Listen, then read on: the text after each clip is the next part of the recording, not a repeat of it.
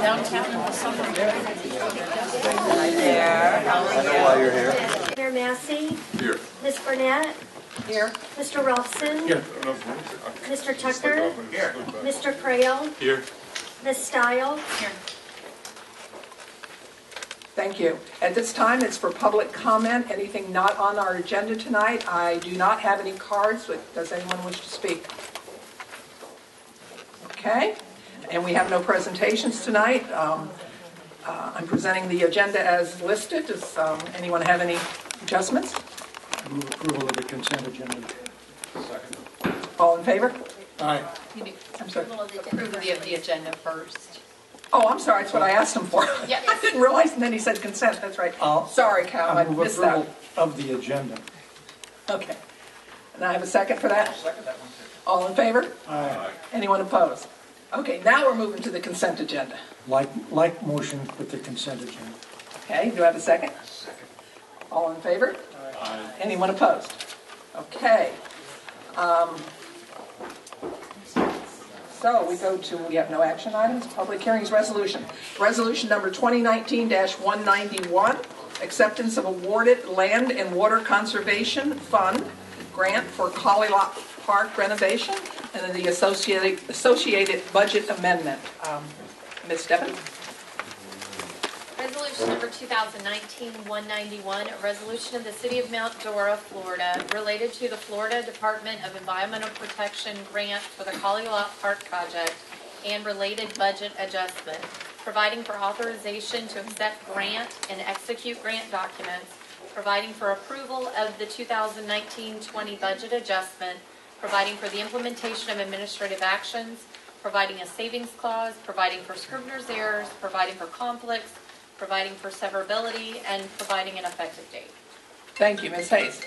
Thank you, Mayor, and council members. Um, I'd like to ask Amy Jewell, our Leisure Services Director, to come up and just give you a summary of what this um, wonderful uh, grant and award um, really includes, and then a little bit of information on the budget amendment. I see Tom um, Klinker is also in the au- audience if you happen to have any questions from him from a financial perspective.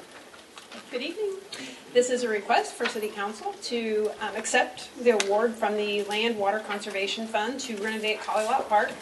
Um, As most of you know, Collie Park is a two-acre park in the middle of the northeast community. It hosts the African American Festival, the Juneteenth Festival, as well as the um, Art in the Park.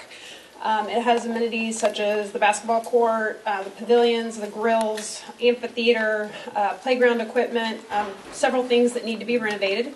This is, this award does include, um, it requires a matching fund, so that's why we're asking for a budget amendment. Staff has identified $200,000 in discretionary park projects that were allocated for the seawall. Um, We have, um, actually, Public Works has met with, and projects have mel- met um, over the the seawall, and it has been decided that can wait a year, um, preferably, so we can do the um, uh, Grantham Point seawall and potentially the Evans Park seawall at the same time. So um, the- these renovations are necessary. They were identified in the Parks and Rec master plan. We do have several safety concerns, specifically with the the grills and the the fire hazards, as well as the children's um, playground equipment. So it is very important that this gets done um, sooner rather than later.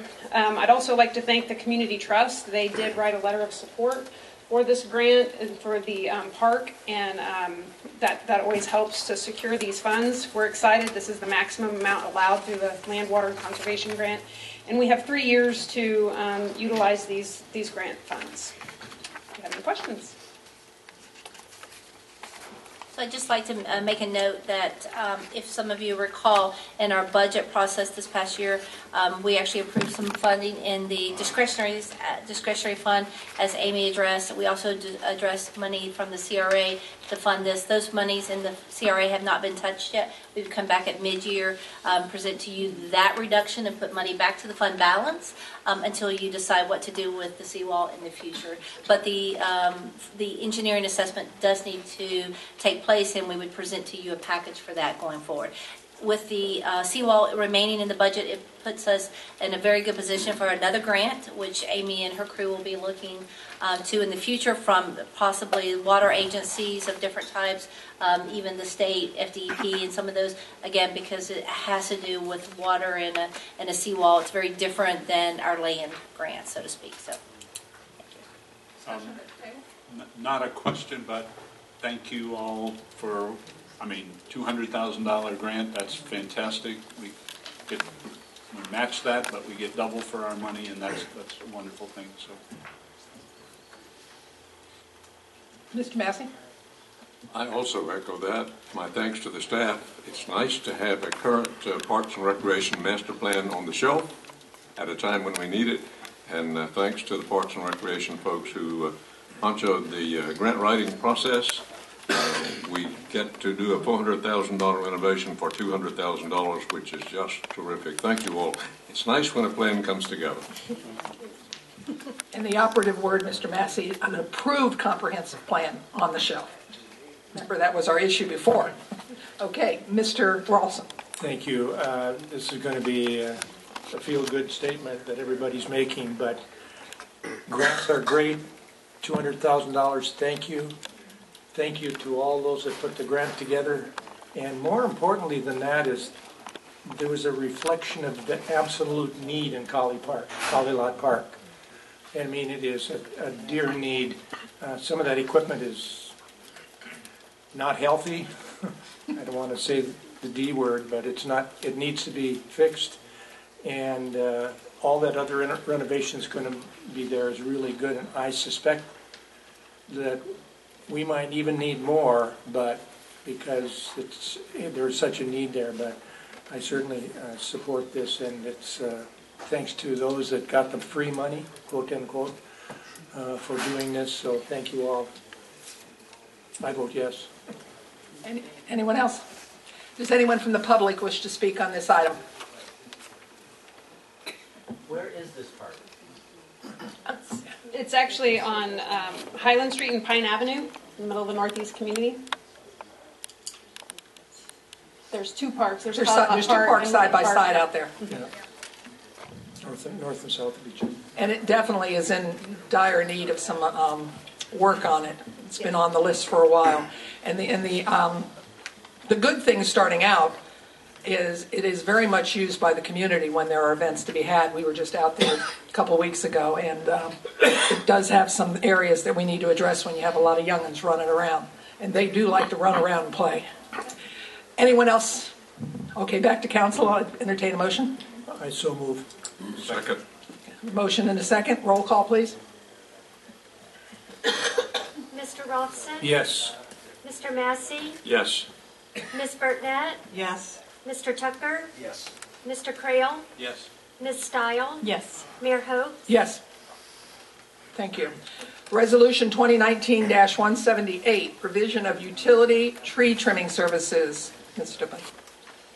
Resolution number 2019-178, a resolution of the City of Mount Dora, Florida pertaining to tree trimming services for electrical lines, providing le- for legislative findings and intent, providing for approval of agreement and authorization to execute, providing for the implementation of administrative actions, providing a savings clause, providing for scrivener's errors, providing for conflicts, providing for severability, and providing an effective date. Ms. Hayes. Uh, Yes, thank you, Mayor, Councilmember. Wayne Zimmerman, he is our Deputy uh, Director for Electrical Services. We'll give you a a little bit of a summary of this particular project and contract. Good evening, council. Let me take this opportunity to present an overview of the scope of services that are incorporated into this contract and part of our vegetation management plan. Safety, best practices, and the National Electric Code safety clearances enable our department to measure the performance of the contractor performing these services for the city of of Mount Dora and safe and reliable service to our citizens. This management plan has uh, enabled us to be fully compliant to the full Public Service Commission since 2006, reporting annually, annually in the storm hardening statutes. Now, historically, we've used a contractor to provide these services with an agreement that incorporates both equipment labor, and fuel into an hourly rate. The existing tree trimming contract expired on September 29th of 2019, and the city opted not to renew in order to seek competitive pricing. Since then, we've been on a month-to-month arrangement until the bid process was complete. On November 4th, we issued invitation to bid with three suppliers submitting proposals. These bids were evaluated based upon pricing, specification compliance, qualified supplier, and reference information. The lowest responsible and responsive bid was submitted by the Davey Tree Expert Company. Questions? Thank you, Wayne. Thank you. Thank you. Anyone from the audience have any questions regarding this item? Seeing none, back to council, I'll entertain a motion. Motion to approve. Second. Motion and second, discussion. Um, I uh, am from Kent, Ohio, um, and the Davey Tree Expert um, World Headquarters was about 200 feet from uh, one of the schools in my school district there. I just want to um, uh, say that I do a little bit of work for Davey Tree. Uh, It's an employee-owned company, um, and I read, help read their scholarship applications on an annual basis. I'm, I'm not a major stockholder, or they don't have any buildings named after me or anything, but I, I always say if that comes up, that I do a little bit of work for Davey I see Tree. no conflict with that at all. Thank you for disclosing. Any other discussion? John? Got one up several times during the past year uh, with our contractors. or- And you can't control everybody, I fully understand that. But Kate, on? Okay, as I said, several times during the past year, a couple people have brought to my attention uh, about some of their employees. And uh, just when they're on site and when they get there, maybe they should work, uh, as opposed to uh, some of the length of time they spent on projects. Uh, Outside my house was one where the guy was doing everything but playing air guitar. Um, He was quite comfortable in his truck there. But it just, if we talk to the management pe- people there about just kind of monitoring them, so when they get there, they're ready to work. And, uh, because more than one, more than one person has brought it to my attention. Plus, I've seen it myself. So I'm glad they got the contract, but just uh, maybe light a fire under them once they get there. As we, we've had this discussion before, I have some very alert ladies that live in the condo building that I live in. They watched a gentleman for four hours sleep in his truck. So yes, Mr. Ra- Ra- um, Charles, when he was still here, he had conversation with them. And just to make you aware too, if you didn't hear, sometimes they kind of get off track and if someone's not managing them, but trust me, there'll be somebody that will call one of us and let us know and we'll call you and say, you might want to check on the corner of so-and-so and so-and-so. Uh, To Mr. Con- Tucker's concern, uh, Davey Tree did make some changes after we approached them with those problems. Uh, Here's what it came down to, is that Davey Tree had a corporate structure where they grouped municipalities and independent operator companies together. We were grouped with JEA, Jacksonville Electric, and Kissimmee Utility Authority, and Mount Dora. We were all municipalities with one supervisor that ran between Jacksonville, Mount Dora, and Kissimmee which created some logistic problems. Davey listened to our concerns, our extreme concerns. They changed that corporate structure so that now we are part of Duke Energy, which is an adjoining supervisor to our service territory. So they get, we get more direct supervision and also contingency resources as we need. Good, thank you. There's also another piece that we'll be adding as soon as this does go into place, is we're gonna utilize the GIS tool that Mr. Lavelle put in place to utilize that to track those scheduling throughout the course of the year to make sure we're making progress on these activities. Excellent. Thank you. Thank you. Any other discussion? Yes, Mr. Olson? Oh, no, no, never. I'm sorry. Thank you. Okay, roll call, please. Mr. Massey? Yes. Mr. Robinson? Yes. Ms. Burnett? Yes. Mr. Tucker? Yes. Mr. Krael? Yes. Ms. Style, Yes. Mayor Hope, Yes. Okay, Resolution 2019-184, piggyback agreement for RCM utilities with Zephyrhills. Ms. Stuffen? Resolution number 2019-184, resolution of the City of Mount Dora, Florida pertaining to water, waste, and wastewater miscellaneous construction and maintenance services, providing for legislative findings and intent, providing for approval piggyback agreement and authorization to execute, providing for the implementation of administrative actions, providing a savings clause, providing for scrivener's errors, providing for conflicts, providing for severability, and providing an effective date. Thank you, uh, Mayor, council members. Um, Joe Grasakis will come up and address, this is a uh, SCADA system for our water and wastewater plants. And Joe, um, staff is in the other room, so we have to give them just a moment to come in here. Yes. Come on up, Joe, please. Um, Just a summary, please, of the piggyback agreement uh, for RCM Utilities in Zephyrhills. Yes, ma'am. Um, RCM is a very small, small contractor. They do projects like thirty-five to fifty thousand dollars. They're very responsive. They've done several projects for us in the past.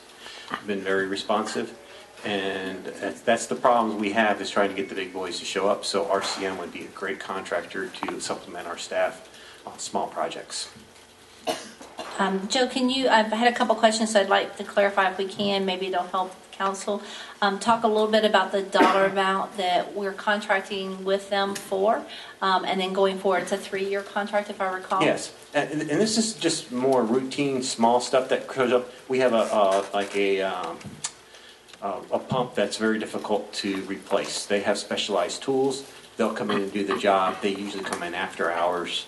Um, they get it done without interrupting our services. And they're probably fifteen to thirty thousand dollar jobs, and it's R and R. It's kind of planned in, in the, in the budget, but we don't fix it unless it's breaking. So. So, Thank you. Um, Maybe now that you say it's such a small company, maybe this answers my question, but usually in our agreements, there's something about using subcontractors, and there's not in this They don't use subcontractors. They, they, it's a very small company. Gotcha. This is also a piggyback agreement, so largely, when we do a piggyback, we take the terms of the agreement the way they were negotiated. There are certain things that we do negotiate that are specific to the city of Mount Dora, and we let them know, you're going to make sure that the indemnification addresses us, that the insurance addresses us, that the required public records law addresses us, but we can't really deviate too much from what's been negotiated otherwise, um, because then it's not a true piggyback. And that would include venue, would it not? Make sure that it's, venue is Lake County. Thank you. Any other questions from council? Anyone in the audience wish to ask or address this issue? Back to council, I'll entertain a motion. So moved. Second. Any further discussion? Roll call, please. Mr. Crayon, Yes. Mr. Tucker, Yes. Ms. Style, Yes. Mr. Rolfson. Yes. Ms. Burnett? Yes. Mr. Massey, Yes. Mayor Hope, Yes. Okay, see, we have no action items, no public hearings, resolutions. Ordinances. First reading of ordinance number 2019-21, annexation of Bristol Lakes Phase 2 LSC. Ms. Stuffen. Ordinance number 2019-20, an ordinance of the City of Mount Dora, Florida pertaining to the final development plan. Oh. That's 20. I don't have the first one, so let me find that real quick.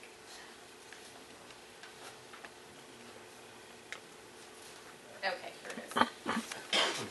I apologize. Ordinance number 2019-21, an ordinance of the City of Mount Dora, Florida pertaining to the voluntary annexation of property, property generally located at the northwest corner of US Highway 441 and Bristol Lakes Road, providing for legislative findings and intent, providing for voluntary annexation, providing for effective annexation, providing an amendment to Chapter 2 Code of Ordinances, providing for filing requirements, providing for implementation of administrative actions, providing a savings clause, providing for limited codification and scrivener's errors, providing for conflicts, providing for severability, and providing an effective date. Ms. Hayes? Uh, Thank you, Mayor, council members. So Vince Sandersfeld will come up and just give you an idea of the, the- again, this is an annexation, so that's all we're addressing here this evening, but he'll go over the rules and regulations um, and any meetings that have uh, preceded this meeting. Uh, The petition in front of you is a voluntary annexation, uh, 1.61 acres. Uh, It's located next to the Bristol Lake Apartments on 441. Uh, It's a continuation of the Phase Two project. Uh, They need to expand their ingress egress to the project and purchase part of the property from the Simpsons family, the Orange Grove. They're going to incorporate the ingress egress, so that's why it's a little small chunk, because it'll be incorporated to the property to the south uh, eventually. Uh, You'll be seeing those project plans later if and so they proceed. Uh, The annexation meets our requirements and meets the requirements of Florida statutes. Uh, Goes through two readings. Uh, We take this to the city council for the first reading consideration. Uh, It's in our joint planning area agreement. Obviously, it's a fill uh, of the enclave, so it's it's appropriate annexation, and we recommend approval of the ordinance to proceed to the second hearing. So Vince, can you get? Sorry, Vince, can you just uh, briefly, you have a map included, can you just briefly address the map, just so that um, everyone uh, from council as well as the audience understands the property, even though you've specified the Sure, the yeah. uh, acreage? Page 440 as I have it.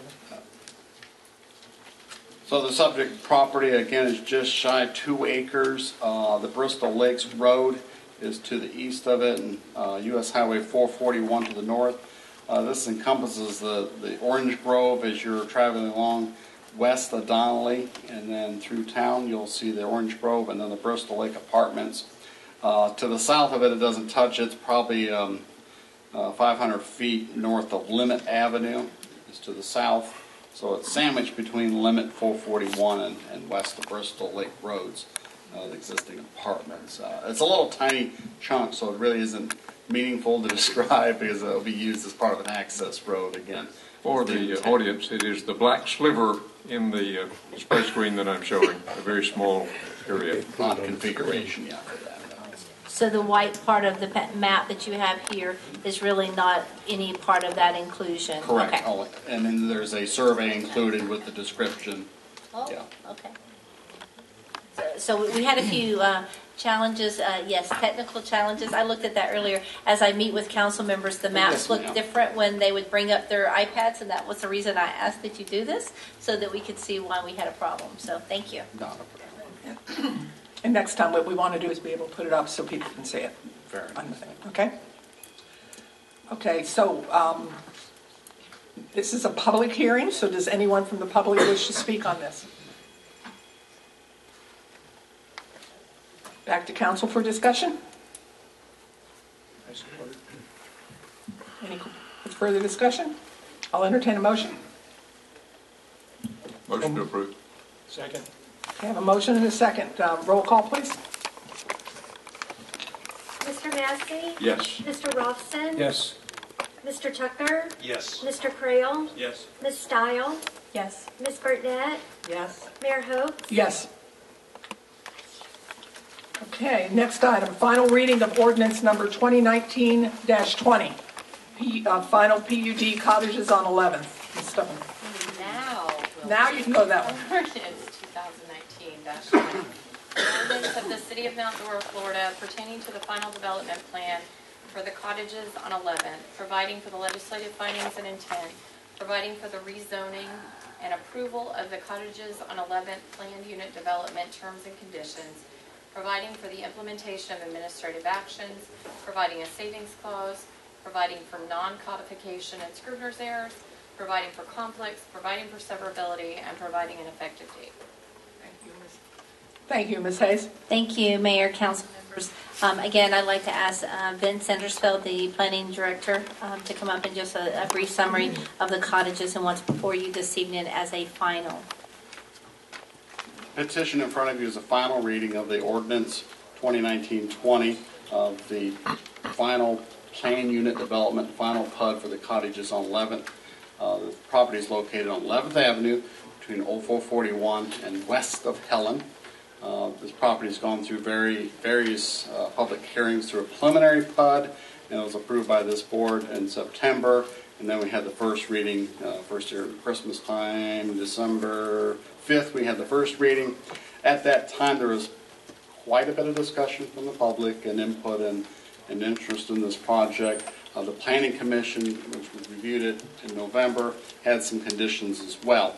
Uh, The City Council at the last meeting recommended approval of the final PUD with the four conditions to add to the master plan. They wanted to replace the sidewalks on 11th per code, use a type F, which is a raised curbing along an- landscape areas for protection, so there's no encroachment into landscape areas. That will achieve that.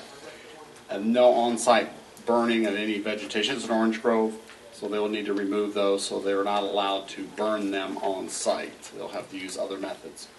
And then the landscape plan would be required at the preliminary plat, preliminary engineering, if you will, stage, which is a little advanced. So the planning commission can review uh, the heavy buffering and so forth and those changes up front.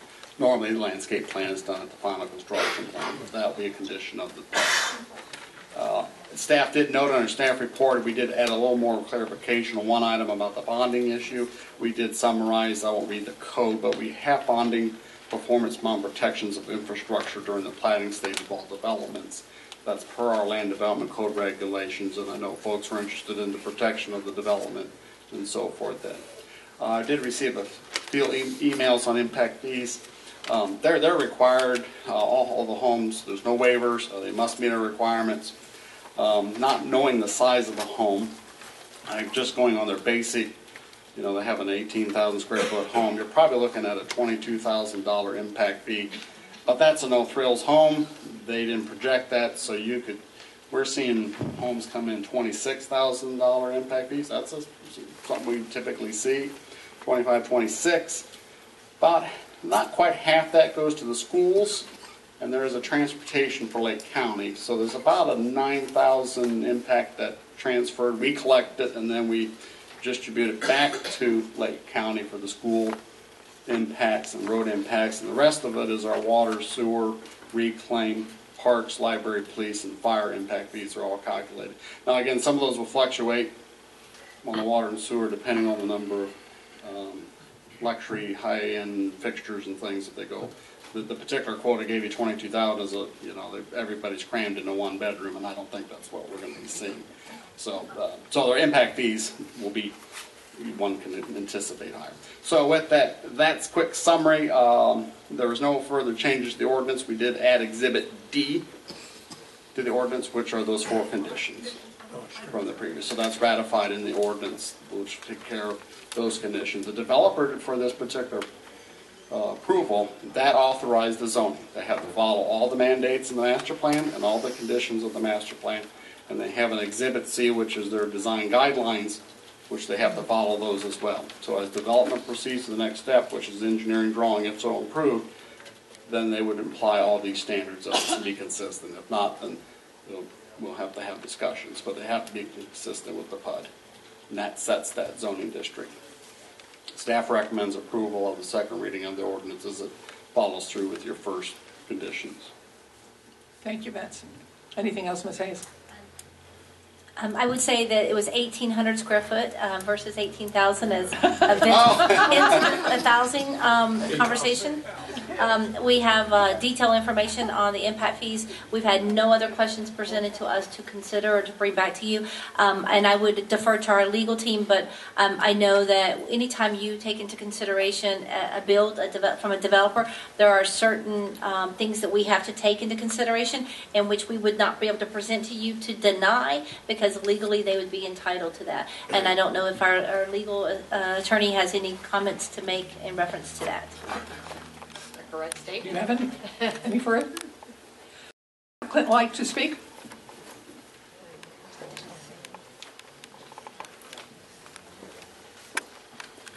Tom Lightsey, Florida Realty and Development, 2105 Park Avenue North, Winter Park, Florida.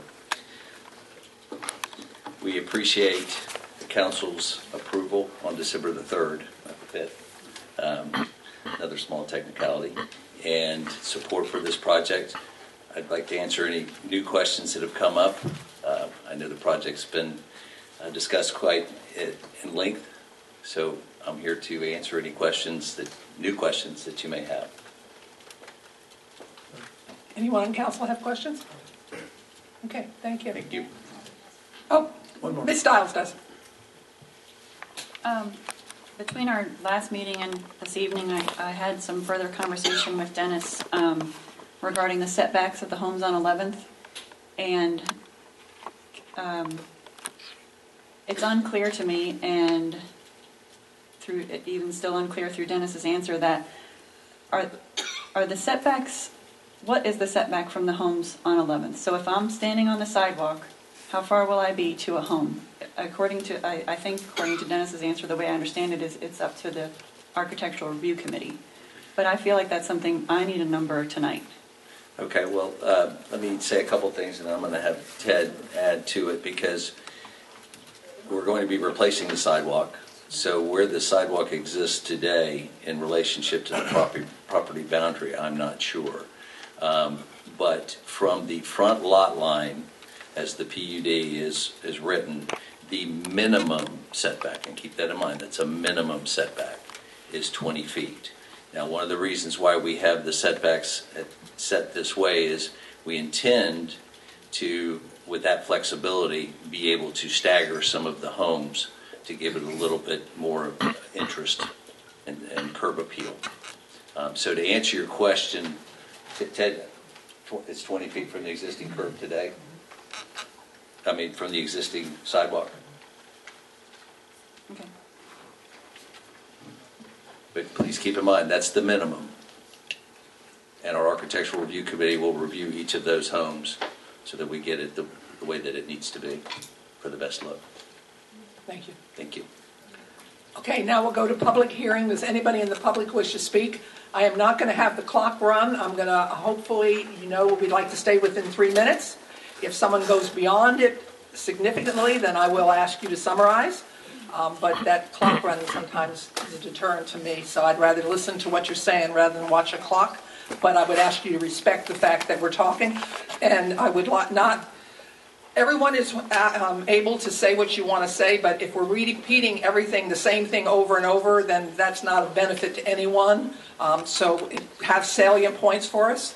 Uh, We'd appreciate it. So with that, if someone would like, please state your name and your address for the record, please. Charlie Sands. I live at 980 Page Lane in Mount Dora. I know you're tired of listening to this, but I'd like to, just a little bit. Okay. For once in your council terms, please put on your uh, better sides and understand that to us, it's really a wrong thing to do in our neighborhood. It's wrong, not just for that, but it's all for the Pinecrest, the entire Pinecrest neighborhood. It's wrong for the city of Mount because it sets a horrible precedent to have a PUD set in the middle of a suburban area, okay? Um, Apparently, from the huge crowds you've had, um, a lot of people are against this development as it stands. Not that we're against a development, but we're just the way it is. And I don't understand why you're going and approving it anyway, as it is. Um, Is it because of the tax base that you could really get uh, a lot of money to, to uh, make the downtown vibrant again? Well, I'm sure that all of us would like that, to be, uh, have a vibrant downtown, but as long as that vibrancy doesn't come into the neighborhoods and disturbs the peaceful, uh, uncluttered way that we live in, how much more of an encroachment can we have than to have six two-story cottages aimed too close to our entire garden subdivision and right into our bedroom windows? Couldn't you just require that that buffer be a little bit wider than what we've been given? Wide enough that a double row of trees be allowed there so that at least that will make it screened enough that we don't have to be constantly reminded that you've encroached on us anyway um, whatever your reasons for, for doing what you're doing, please remember that Mount Dora is special not just because of the historic nature and charm, but be, also because of the community spirit. And that that community spirit can only be maintained with a little give and take from all, all sides.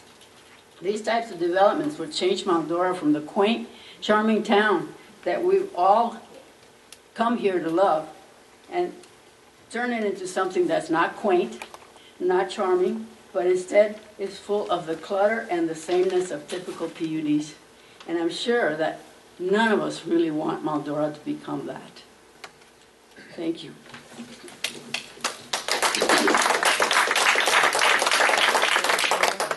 Yes, ma'am.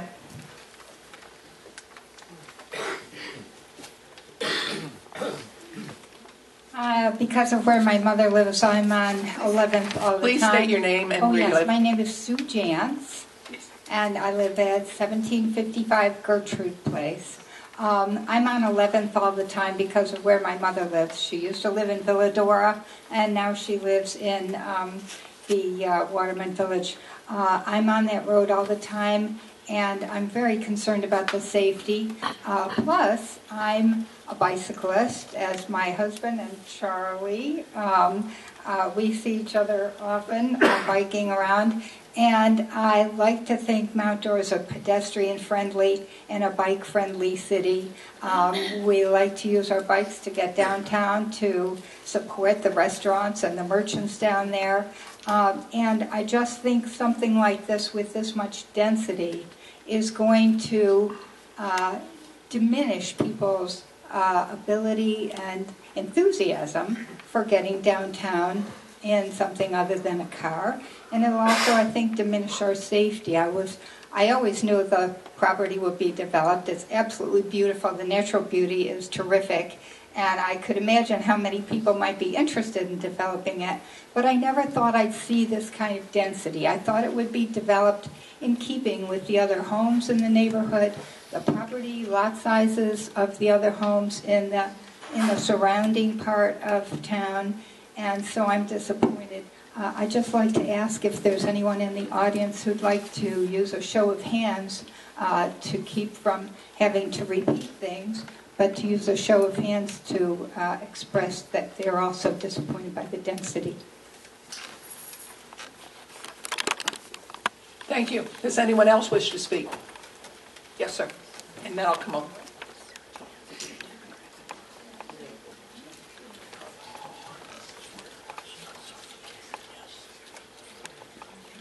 Barney Benton, 1121 Gardner Street, Mount Dora, Florida. Uh, A couple of things that were touched on at the uh, last meeting that I would like to touch on. We, uh, you talked about the sidewalks in front of the cottages on 11th. The sidewalks on 11th Avenue from Old 441 to Donnelly Street are a disaster. They're four feet wide. Uh, Since, since we're here on, for this hearing, I want you to, s- I need you to speak directly to this particular item. We can talk about that at another component time, but we need to stay focused on this item, and, and the sidewalks beyond that really isn't for discussion right now, okay? So, but, uh, Okay. yeah, uh, see what I'm saying? This is, we're here for well, this hearing. Yeah, okay. Okay. Now, well, let's start with them. We need a, uh, some kind of multi-use trail. I, I brought this up one other time, and I was, somebody, uh, a, uh, uh, city representative made a comment, I wouldn't want to afford the, uh, the insurance. And here's the problem. Regardless of where that sidewalk is, let's talk about just the one in front of the cottages. It is a multi-use trail. We have bicyclists, we have dog walkers, uh, and the other thing that's going to happen uh, is that we have pedestrians trying to cross. Right now, it's dangerous. I will bring it up with the plan, but it- let's start there. Let's put a really nice, wide sidewalk where people can really share. Okay? Thank you. Yes, ma'am.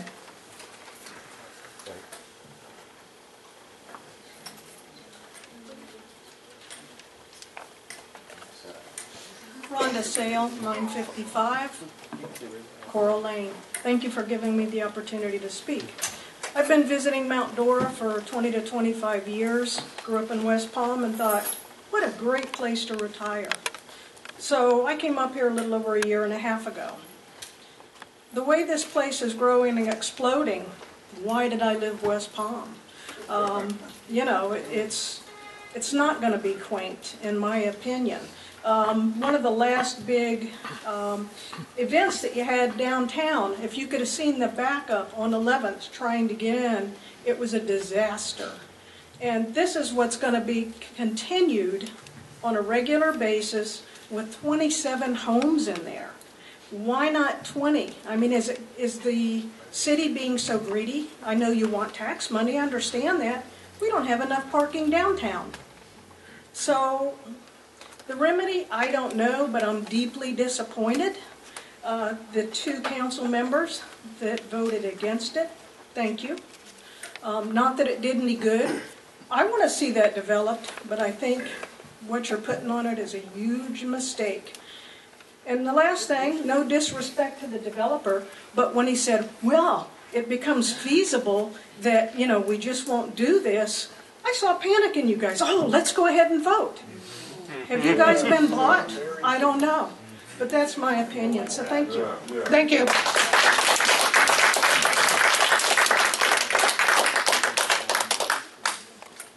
Ms. Thatcher? I just have a question. Lynn Thatcher, Country Club. I have a question. When I went to the first hearing on this, you're reading, um, Lori Tillett, who was on council at the time, suggested that she voted in favor of it based on it being 22 to 23 homes. She thought 27 was way too many, and I, it was on the record and everything. I, since that time, I have not heard any adjustment to that. My other question, when I looked at the whole thing too, going down towards 0441, is there going to be some type of a thing so that if there are children living in the neighborhood, and I'm going to presume that with two-story houses, this is not going to be a retirees neighborhood. Most retirees are going to go to a one-story, I hate to say it. Um, So we've got a budget for that our schools, because you're going to have children in there, and, and um, more traffic and stuff like that, but also access to the lake. So there'd be some kind of thing to prohibit any children living in that neighborhood from getting towards, down towards Old 441 and, and the lake and stuff. But I guess I'm wondering if have you adjusted the number of houses? No. So that wasn't considered? That, that, that was discussed, and the developer heard the discussion, but when they came back, they did not adjust it. But it was not a recommendation that was made in a formal way. It was part of a discussion, if I Right. recall. Yeah. Right, yeah. So you're sticking firm with 27? It's what the application has. Okay.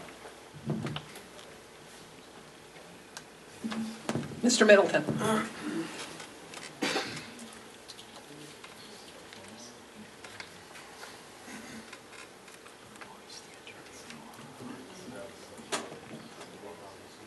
Madam Mayor, council members, city manager.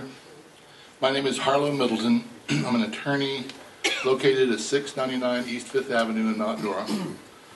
I represent Donna Brown and Ken Mazik. They have property on the southwest portion of the boundary on this property.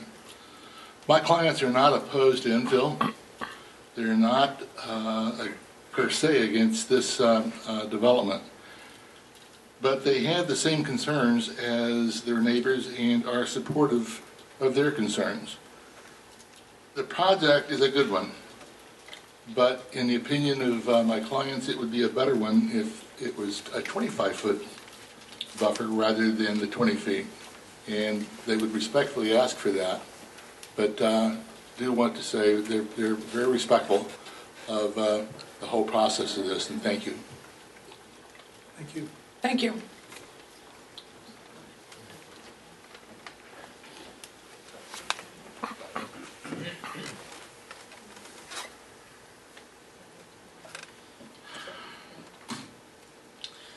My name is Una Fox, and I live at 980 Page Lane.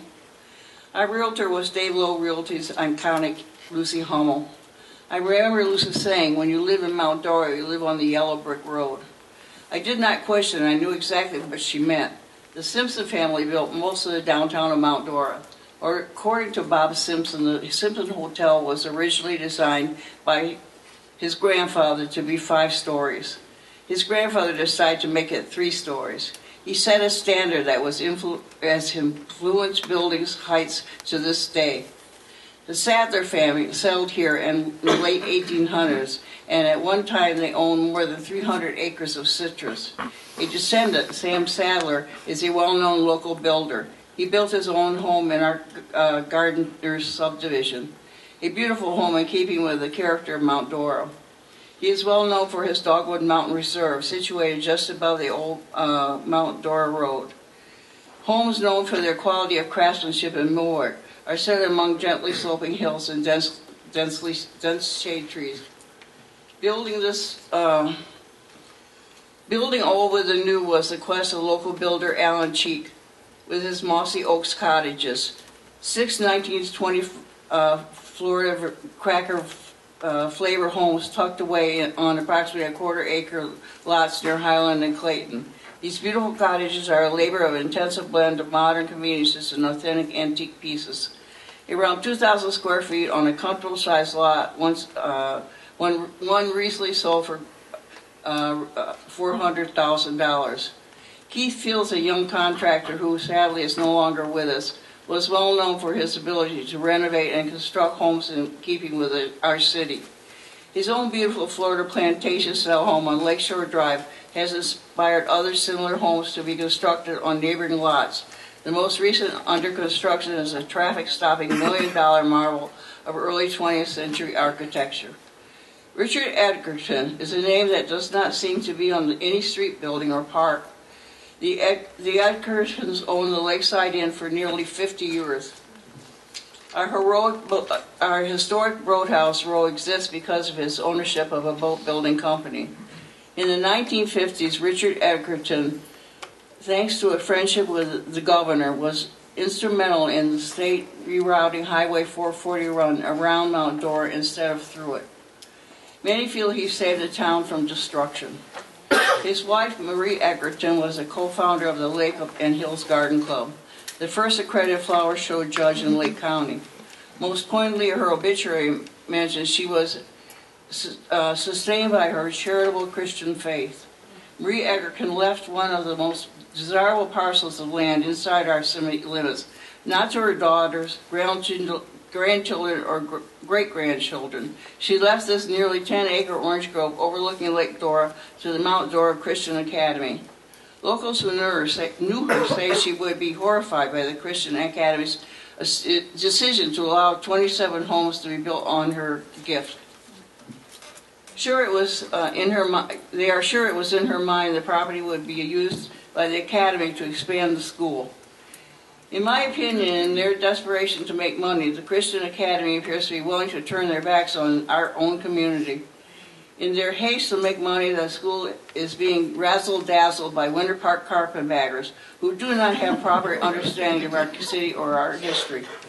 In my opinion, the Edgerton's legacy is being disrespected by the school, and our city is being sold out. I have mentioned a few of the local builders who might find a way to develop the property and raise money the school seems to need. Builders who understand and respect the community and the Edgerton, Edgerton name.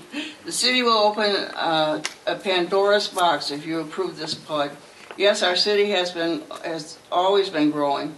Growth often uh, growth often protected by many of the names on our buildings, parks, streets, and our community. Do not be razzle dazzled this property can make the money the city would like to put in their piggy bank. It just has to be the proper fit for the city, a proper development that will benefit our neighborhoods. It's not too late to step back and revisit this PUD. Make sure you have figured out the best solutions for the city's continued growth and development. What you decide here tonight is going to be titanic.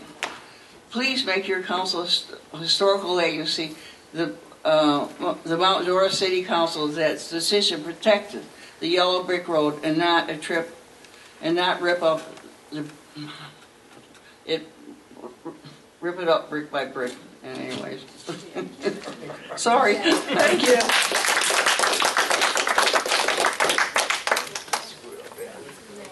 Frank. Hi, my name is Frank Ford. I live at uh, 847 McDowell Street, Mount Dora. Uh, several months ago, a neighbor uh, of ours uh, sought approval to split his residential lot in the city, not far from the planned development. He was told the frontage had to be 90 feet. I was- I also checked on this because I was a little concerned about all this deal. And uh, I was assured by staff on two occasions that there was no lot in the city that could be approved that did not have 90-foot frontage and required side and rear setbacks as per current code. It is apparent that this is not the case. All you got to do is petition for a change, and, you know, I guess you can get it. Uh, Council has the authority to not approve this plan. The majority of residents in this neighborhood have spoken against it. Petitions were signed, suggestions made, and compromise sought, all apparently to no avail. Uh, People in Mount Dora want the city to maintain its singular nature, not be an imitation of Baldwin Park, or Celebration, or Longwood, or Lake Mary, or Winter Park. It's time for council to represent their constituents. As the former council member, Ms. Tillett said, she is here to represent the people who live here now. Thank you.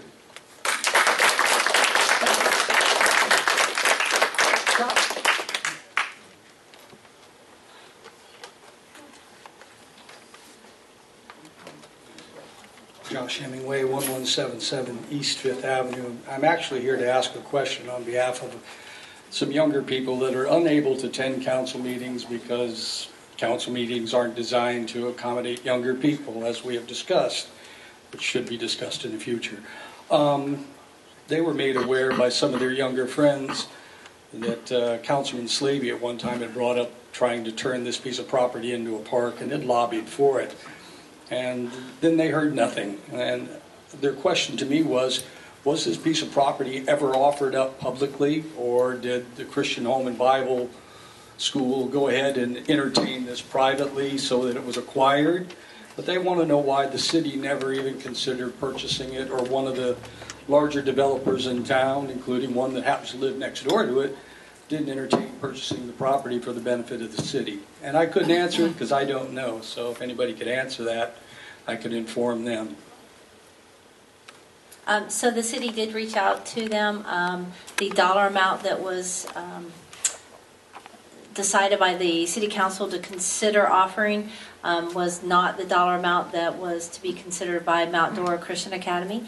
Um, They were expecting a- a- more money. Um, So we uh, went to the point of our high end, um, and at that point in time, it was not attainable for the city, um, as well as our financial advisor looked at the cost of the property. Um, from a perspective of um, it being a park or something to that effect, um, and the return on that from his perspective um, would have been a bit of a challenge for the city. Um, So, uh, but we did try to negotiate with it um, for the property initially up to the point where we, and I don't recall the dollar amount right now, but um, we did reach out and speak with them several different times. Okay, so basically that, that the property then was offered by Dr. Moore to uh, uh, other The- people, or was it ever publicly for sale? Um, It was up for sale. They did have a real estate agent Okay. listing it, um, and the current um, company that's looking to purchase it um, or has purchased it, um, they were not in the picture at that point in time. So again, he did he did work with us in good faith. Um, we just couldn't come to a dollar amount based on what our expectations were to use that park and the dollar amount that was um, expected to be spent there. Sadly, that's a bit of a shame. It's a bit like Pineapple Point. You know, we should purchase that too, but, okay, thank you very much. Anyone else was, Jay? Good evening, everybody. Jay Smith. I live at 1046 McDonald Street on the corner of 11th and McDonald. um, at last, uh, at the last city council meeting, someone I don't remember who now um, asked if there had ever been a traffic study on 11th, or in all of Mount Dora for that matter. And um, Kathy, you asked the question, and I believe the answer was no. There's never been a traffic study on 11th. Am I correct?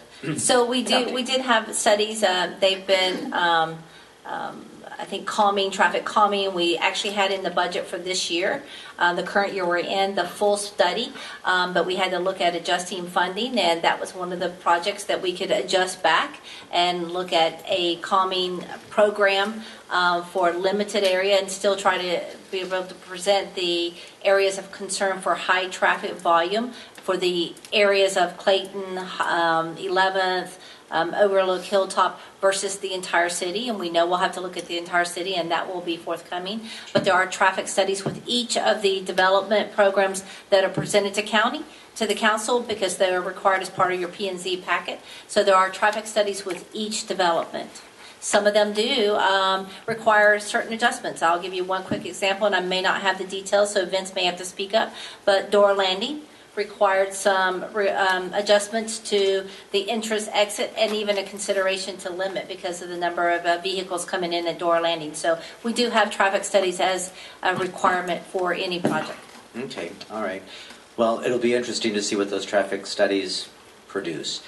And I would only ask that um, before you vote, because I think it's a foregone conclusion, we're going to get this property developed and there's going to be 27 homes and 27 times two, probably at least cars that are traveling on 11th now. Um, you know, my driveway faces 11th. I sit and wait five minutes sometimes if I'm trying to leave my house at the wrong time of day to get out because everybody is running the stop sign at 11th and McDonald. And then they see the red light at Donnelly and they gun it to try to beat the light at Donnelly. I'm telling you, living on 11th is no treat. And your clients who are going to pay $650,000 to live on 11 are going to be disappointed when they can't get out of their driveway. At any rate, I would also like to know what the plan is for all of the construction vehicles that'll be coming in and out. Are they going to come down Donnelly, turn right onto 11th, and go to that property? Are they going to come up uh, from Old 441 and Heim Road onto 11th? Because you're in a landlocked situation there. So no matter which way all these vehicles are going, and all the dirt and the noise and the traffic and the the disruption is going to affect everybody who lives on 11th. So um, I think it's the least you could do, since nobody wants to listen to all of the people who are sitting here who are opposed to the way this project is being rammed down our throats. And I have to say, it feels like it's being rammed down our throats. Um, and we really have not been listened to. I think it's rather disrespectful, with all due respect. Um, but really, let's do a serious study on how, the, how this piece of property is going to be developed and what the impact on the lives of the people who live on 11th is going to be. Now, I don't know where any of you live. Kathy, I know where you live. I think you're our District 1 councilman. Where do you live? I live on Overlook. Okay, so you're going to be fighting traffic and noise and dirt and for how many years? How long is it going to take to develop, tw- uh, to build 27 homes? I don't know, maybe the developer has an idea how long it's going to take, but I have a feeling we're going to be living through at least 10 years of construction noise and dirt. There you go. Thank you, Jay. Merry Christmas, everybody.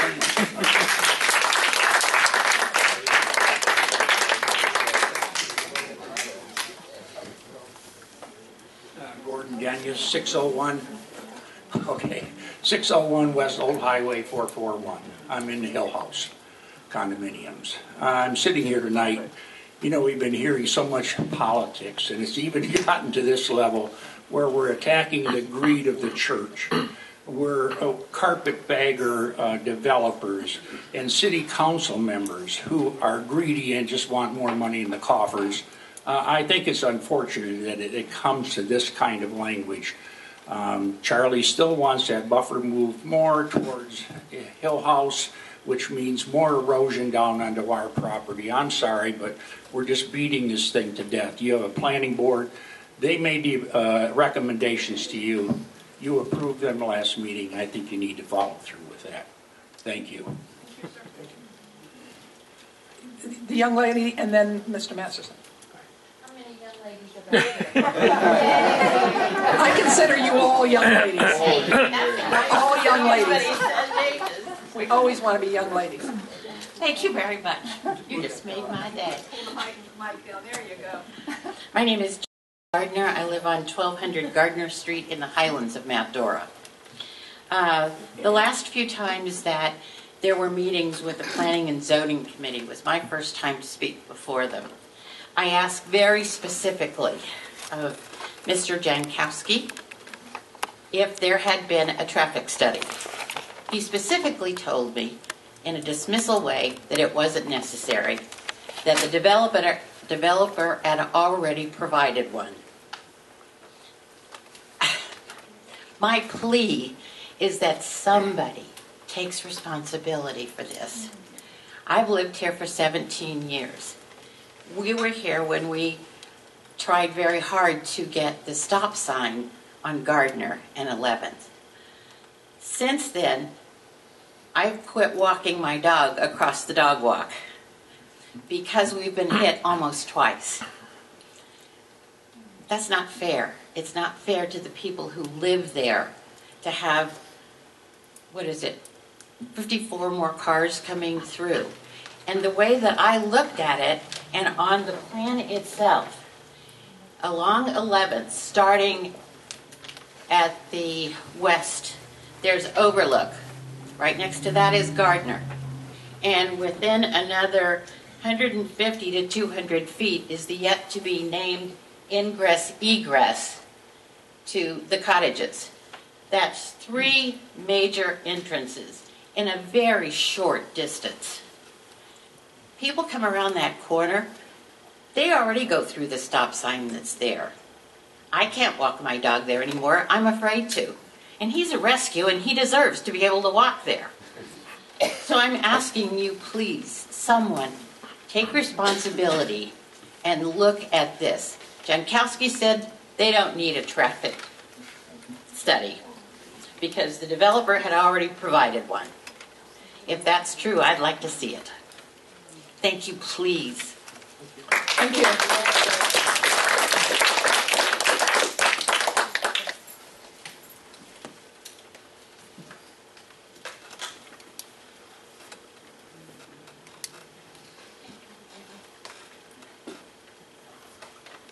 Evening. Mike Masterson, 787 Crosswinds Way. Uh, I think it might help if you, if you explain to your constituents the authority that you have to change or not change a PUD request. How much power and how much ability you have to say, as Ms. Tillett said, I'd like to have 22 to 24. But it's my understanding is y'all cannot tell them, we'll only approve 22 to 24. If they fit the PUD request for a uh, density, and if they fit the PUD, PUD standards or uh, for setback and boundaries, et cetera, I don't know if you all have a leg to stand on to tell them, no, you can't build 27, you can only build 20, or whatever. Am I correct in any of those comments? Partially. There aren't necessarily PUD standards. That's what a PUD is. It's- It's different based on the things, the nuances of the property Right. and of the project. Right. Um, But if they do meet the density of what their current zoning is, which they do, then we would have, we'd be hard pressed to tell them, no, you can't develop 27 lots on the property.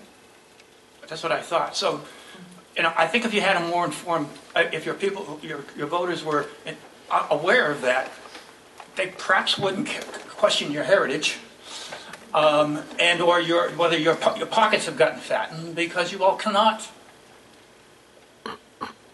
restrict, uh, legally tell them, no, 20 is all we'll approve, and stand behind it without getting sued for giving them less than what they're allowed. So if you could do that, I think it might be beneficial, you all might have by out by the end of the evening. Thank you. And yes, you are accurate. Anyone else wish to speak? Mary?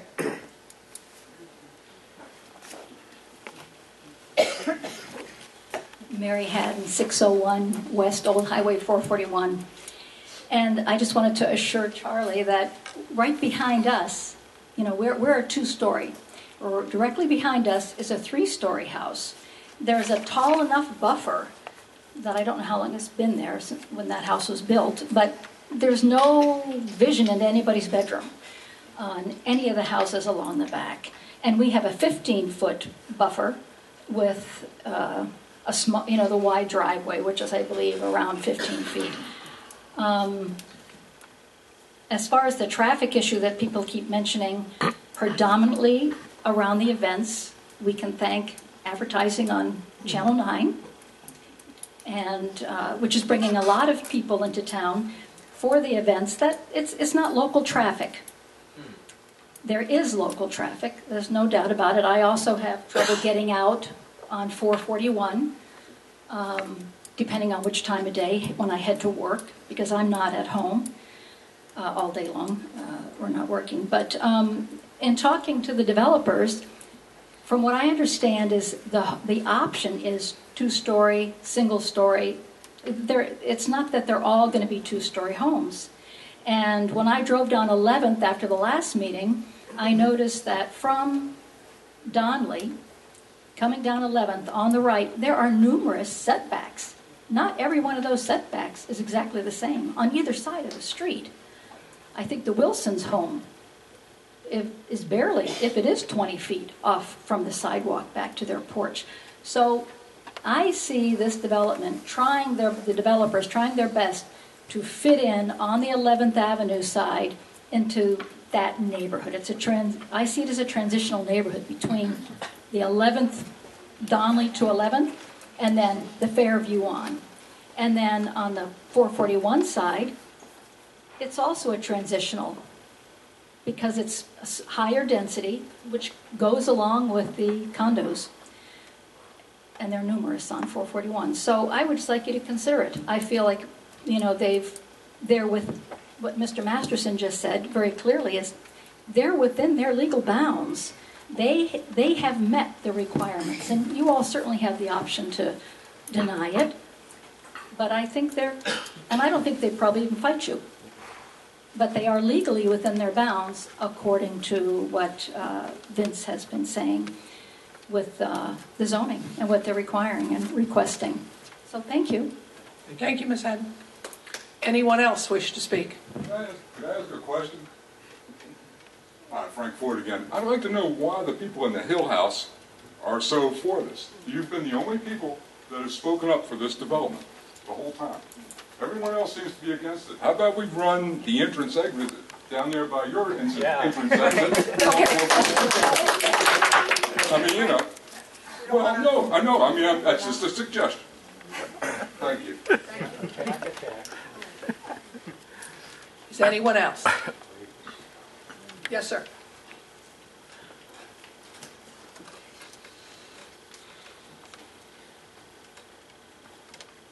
Thank you. David Jantz from Mount Dora, 1755 Gertrude Place. Um, I live in an unincorporated area of Mount Dora, but I am interested because I spend a great deal of my time uh, bicycling back and forth to Mount Dora, which I like to do, and it was brought up before the difficulties of 11th, and I sent some information to everybody today. Um, that makes me wonder what exactly uh, we are going to do with that additional density along there, because there's really only one route for a pedestrian or a bicyclist to get into Mount Dora from the west side of Mount Dora. Uh, the others are just impractical and very dangerous. The, uh, you have Old Eudora, um, I'm sorry, Eustis Road, which is far too narrow now and far too dangerous probably for cars, much less a pedestrian or bicyclist. And very little that probably could be done to change that. Uh, 441, I'm sorry, Old 441, um, same thing. It's too narrow to do anything more with it. There's a lot of traffic on that, of course, coming into town. You can't bicycle on that, and there are no sidewalks at all to walk on either of those two roads I mentioned, and probably never will be. So the only road that really runs from the west side of Mount Dora and Sylvan Shores, etc., into town that gives people access to walk or bicycle is 11th. And we're going to be adding considerable amount of additional traffic with this, without any doubt. Uh, because you can't just talk about how many houses are there and how many cars each house will have. But there's also delivery trucks. There's also friends and relatives visiting. There's going to be a lot of additional traffic in and out. And you've already got, as is mentioned here before, a single stop sign along there that isn't often obeyed. Um, I was questioning, you know, is there a thought of putting a traffic light in there someplace to stop that traffic when needed? Uh, Are we going to match the egress to the new development so that you could have at least something there to control traffic in and out of the new development and the old developments that are there? Or is it just going to be free-for-all? And I think that's pretty much what we're going to end up with, a lot of people stuck trying to get onto or off of 11th. Uh, And unless we do an awful lot with the sidewalk along there to make that safer, that's the whole length, too, of the sidewalk along there. Uh, You're going to make it very difficult for people to do what a lot of people would like to do and should be doing, and that's getting some exercise by walking and bicycling in and out of Mount Dora to beach, you go to the shops, go to the restaurants, etc., and not have to use a car into what's a very already limited parking area in downtown. So that's my question. I don't know if you remember the questions I asked. Uh, I'd just like to see if anybody could answer any of those questions, if they would. And thank you. Thank you. Ms. Hayes? So um, as far as um, the traffic light or something of that sort, again, we have the traffic calming study, which will address, um, we've put some temporary speed bumps in certain locations. We actually have one coming in on 11th. Um, And again, the, the stra- traffic calming engineer will tell us where we should place a speed bump, if one should be required, or anything else, whether it's a light or additional stop sign, or make recommendations to this board, and the board will have a chance to take that in consideration. Uh, We had several roads in the city that we're looking at, Clayton, Highland, um, Overlook, 11th, uh, 9th, I think is another street we were looking at, um, as well as 5th and Donnelly. So those streets will be taken into um, consideration and presented back to the council as far as the study. Um, As as far as sidewalks, again, we have a trail program. The trail program is really, at this point in time, it comes down uh, 0441. Um, The trail does include trails in that area that you're speaking of, of no being no sidewalks at this point in time. Um, I don't have a map of that yet because again, it's still being designed. Um, economic development, we've been presenting to the council on a steady basis, um, would include those trails and we're still proceeding with that. We do know that if we cannot um, maneuver um, the trail system down 0441, 11th and Heim and some of those other locations to connect to the Tremaine Trail is the other option. So again, we'll continue to have to study that. Um, We, uh, council approved 200,000 this year uh, for, with the MPO to do that study, to perform that study. Um, We hope to have part of that study for the trails back in May, thereabouts, and we'll uh, proceed from that point. So we are actually looking at all those programs. Thank you. Um, I guess would just like to add one more thing that I do have to stand behind what some people are saying is that density does seem too high. Um, It's just my opinion. Uh, I think it needs to be developed, and it's going to be a, a beautiful place to develop. I'm sure it will be very popular, but it does sound like it might be a bit too much concentration that uh, could be a problem. Okay. Thank you. Question. Let me see, is there anyone else who has not spoken yet who would like to speak? Yes. I'll come back over here after people who haven't spoken yet.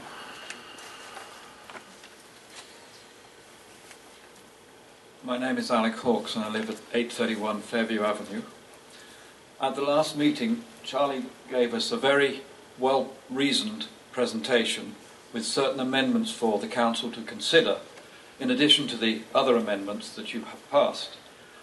I would appeal to you on behalf of many of the residents in the area to reconsider those proposals by Charlie before you make the final decision on the PUD. I'm inviting you now on behalf of many people to consider Charlie's recommendations. Thank you very much. Thank you.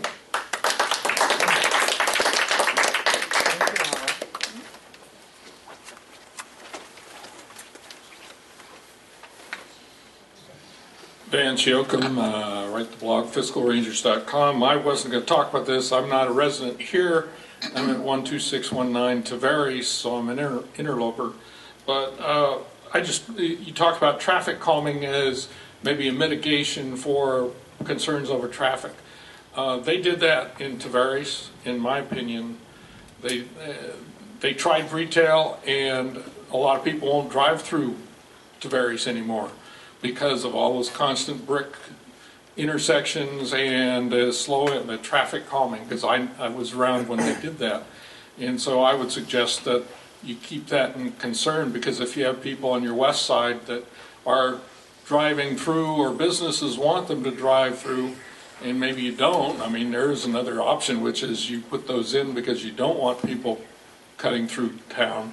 Uh, Then that's part of your discussion, but just keep that in mind, because in my opinion, a lot of people now are bypassing Tavares, and so they ended up having to switch to entertainment because they couldn't get enough people coming down there for retail. Thanks, Vince. Uh, Josh?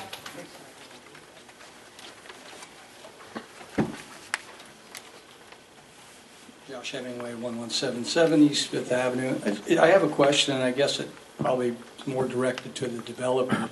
But uh, when you drive down the Lake Shore Drive or the old 441, you come to the Heron Key, which faces on there, and then you come to the Hill House and whatever other. And they comfortably manage to come onto that road. Uh, When you're on 11th, it is all houses, the driveways, and so we don't have anything that um, other than the property that's off on the other side. Uh, it- Was it ever taken into consideration to put the, you know, the entrance and exit on Old 441? It is a very large frontal, and it would be, it would mirror exactly what's happening at the, at the hilltop places. I, you know, it would seem if there was any way to move it to that road, it would alleviate a lot of problems for the people on 11th. I don't know if this was ever considered. Um, So I do believe Vince can come up and speak to that, um, and then if he wishes to reach out to the developer, we can do that. But It was considered at the preliminary stage. Um, 441 would be a a difficult ingress egress. It's under Lake County's jurisdiction, but also the configuration of the existing conditions. It's a small footprint.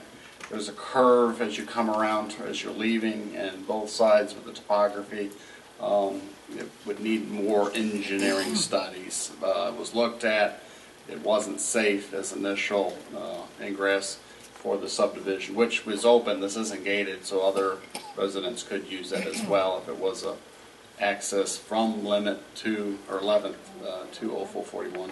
Uh, So it was considered, um, didn't seem safe, and would need considerable engineering. Thank you. I would just like, I would just like to have one clarification uh, about something the Hill House people said. Um, The five feet that we're asking for um, is not going to shift anything towards Hill House or to the west.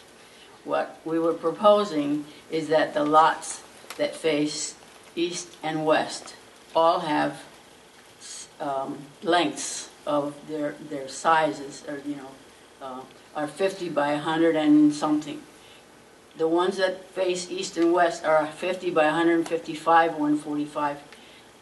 The- What I was thinking is to take five feet from one of those rows and put it on the buffer.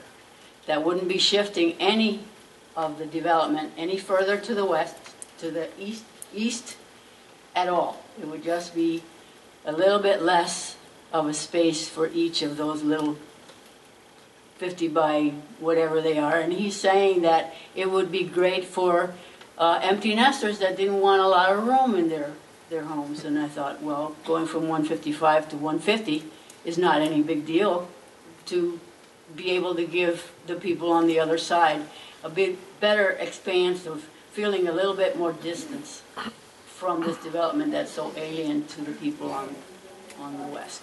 Okay? Thank you. Anyone else? Mayor, may I speak as a resident? Well, we're, May I get up and speak as a homeowning resident of this city? You can give your opinion sitting on the dais, but you, you don't leave the dais during a meeting to speak as a homeowner.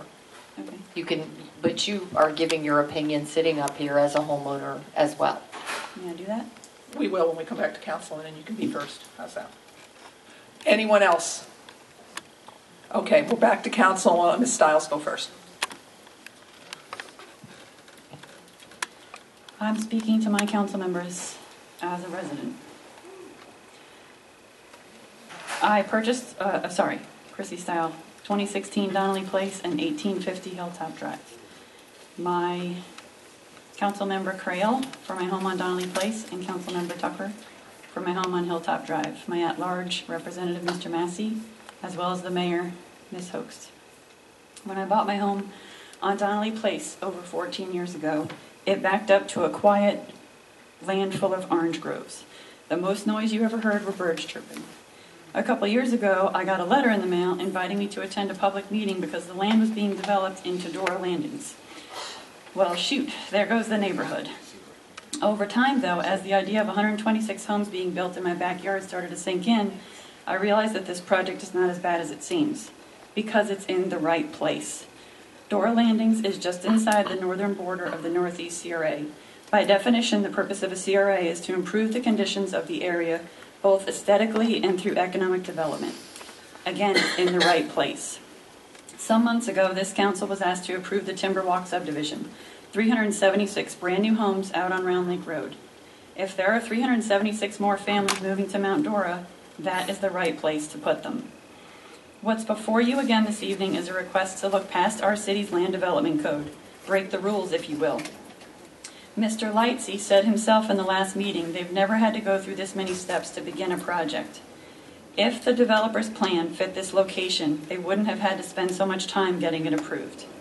That's got to make you stop and think. Why has it been so difficult? Why are so many of our long-term residents so opposed to this project?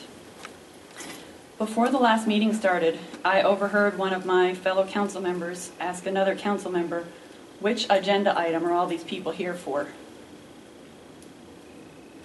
Still to this day, that blows my mind because as seven people representing the 14,526 people that live in this city, if at this time you don't know what these people are sitting for, shame on you.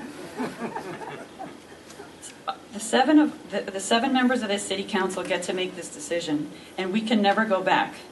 And I ask you not to change Mount Dora's character to meet this developer's needs, but instead consider the needs of the residents that have lived in the surrounding neighborhood for decades, not years, but decades. We live in this city, they don't.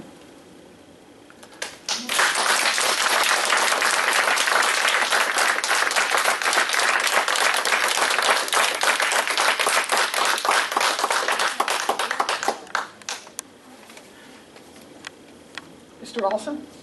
Uh, Sure.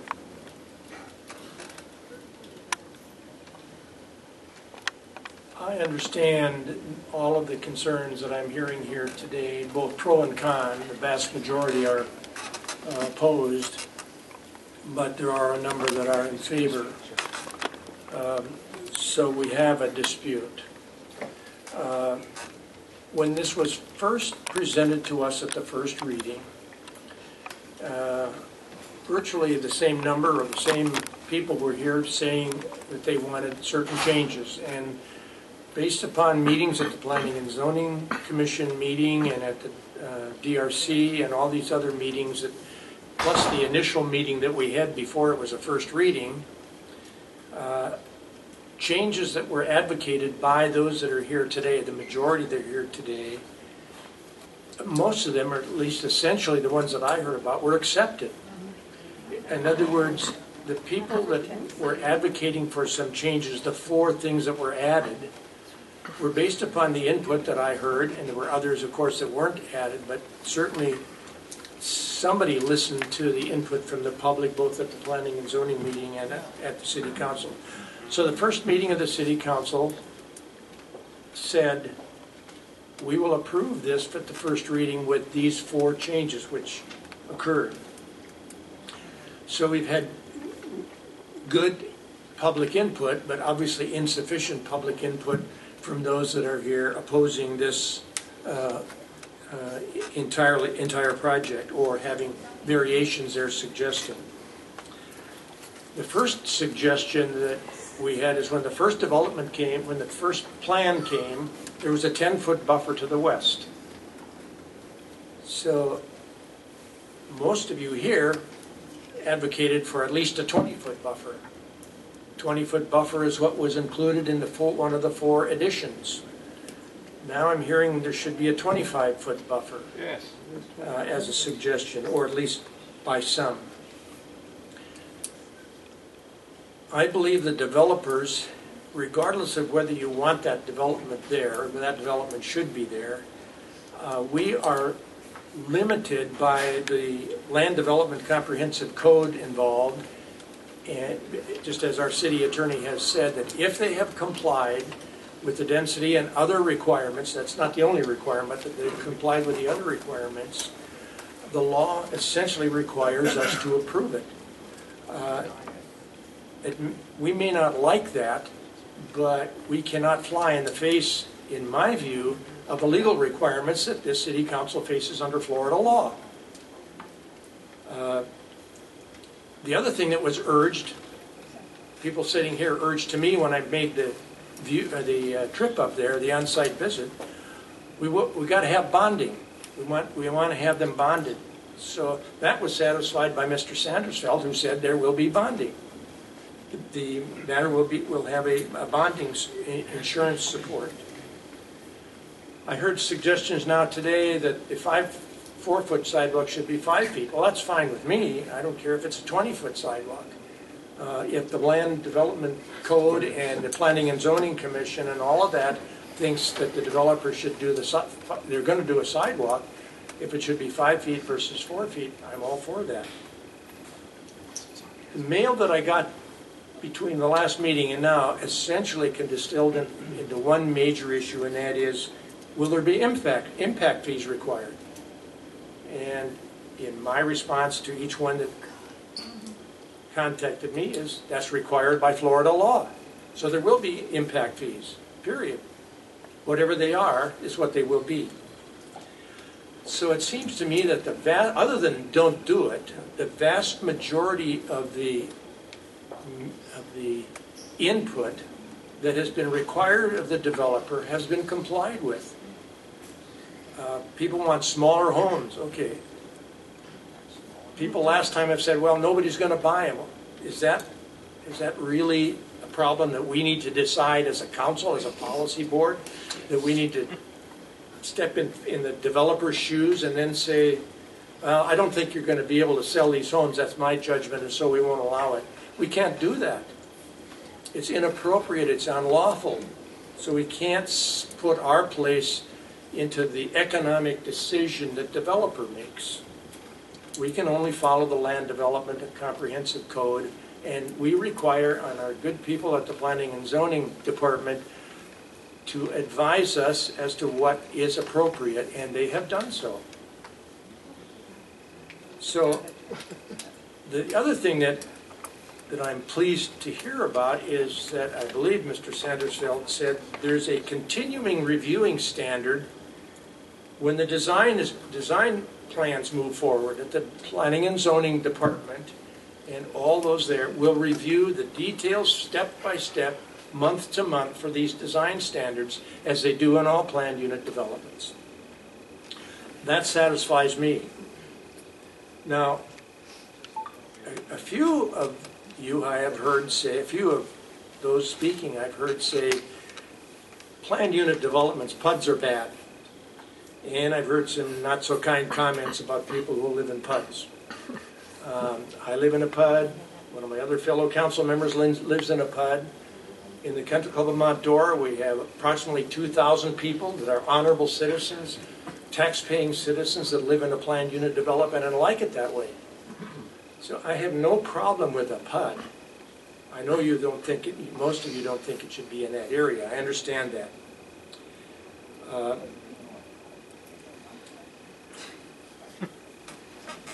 The last comment that I heard that was a little disturbing is that somehow the developer or the city or the whomever is ramming this down our throat. Uh, I don't believe that's true.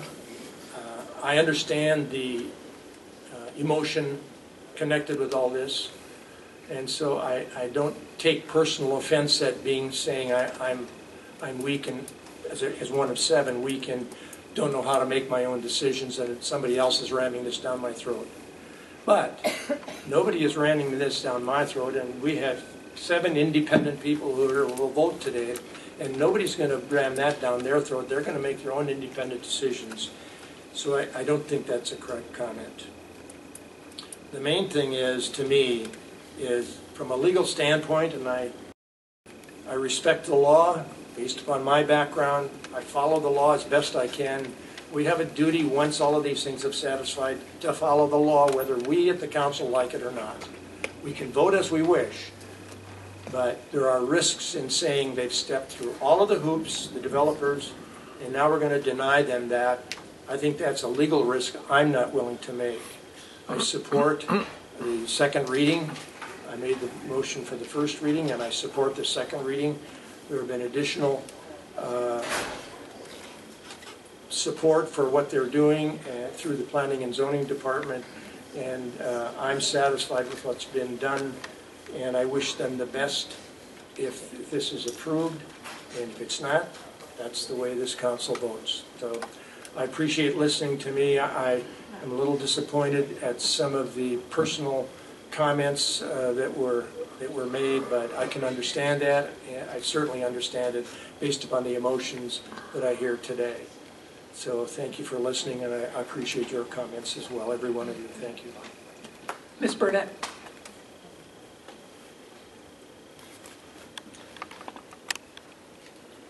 Ex parte communication first. I met with Dennis Casey, and I... Okay, okay, I'll get closer. Is that right? All right, so I met with Dennis Casey, and I received emails from uh, the constituents about um, their concerns. Were the emails that you received to you personally, or were to the, they They were were to to all all the council? council. They were to all the council. Um, I did receive uh, one about impact fees, wh- wh- which was a response to my, my, my, uh, thank you. So that was, that was the extent of the uh, emails. And who was that email exchange with, the individual that Um, had a personal email with you? Nancy? Okay. Yes. Um, My concern is, so I, I, in, in my, um, in my meeting with Dennis, I was pleased to see that all the houses there were on one level, and, and the response was, well, we're, we're retired people, and we only want one level, because we are.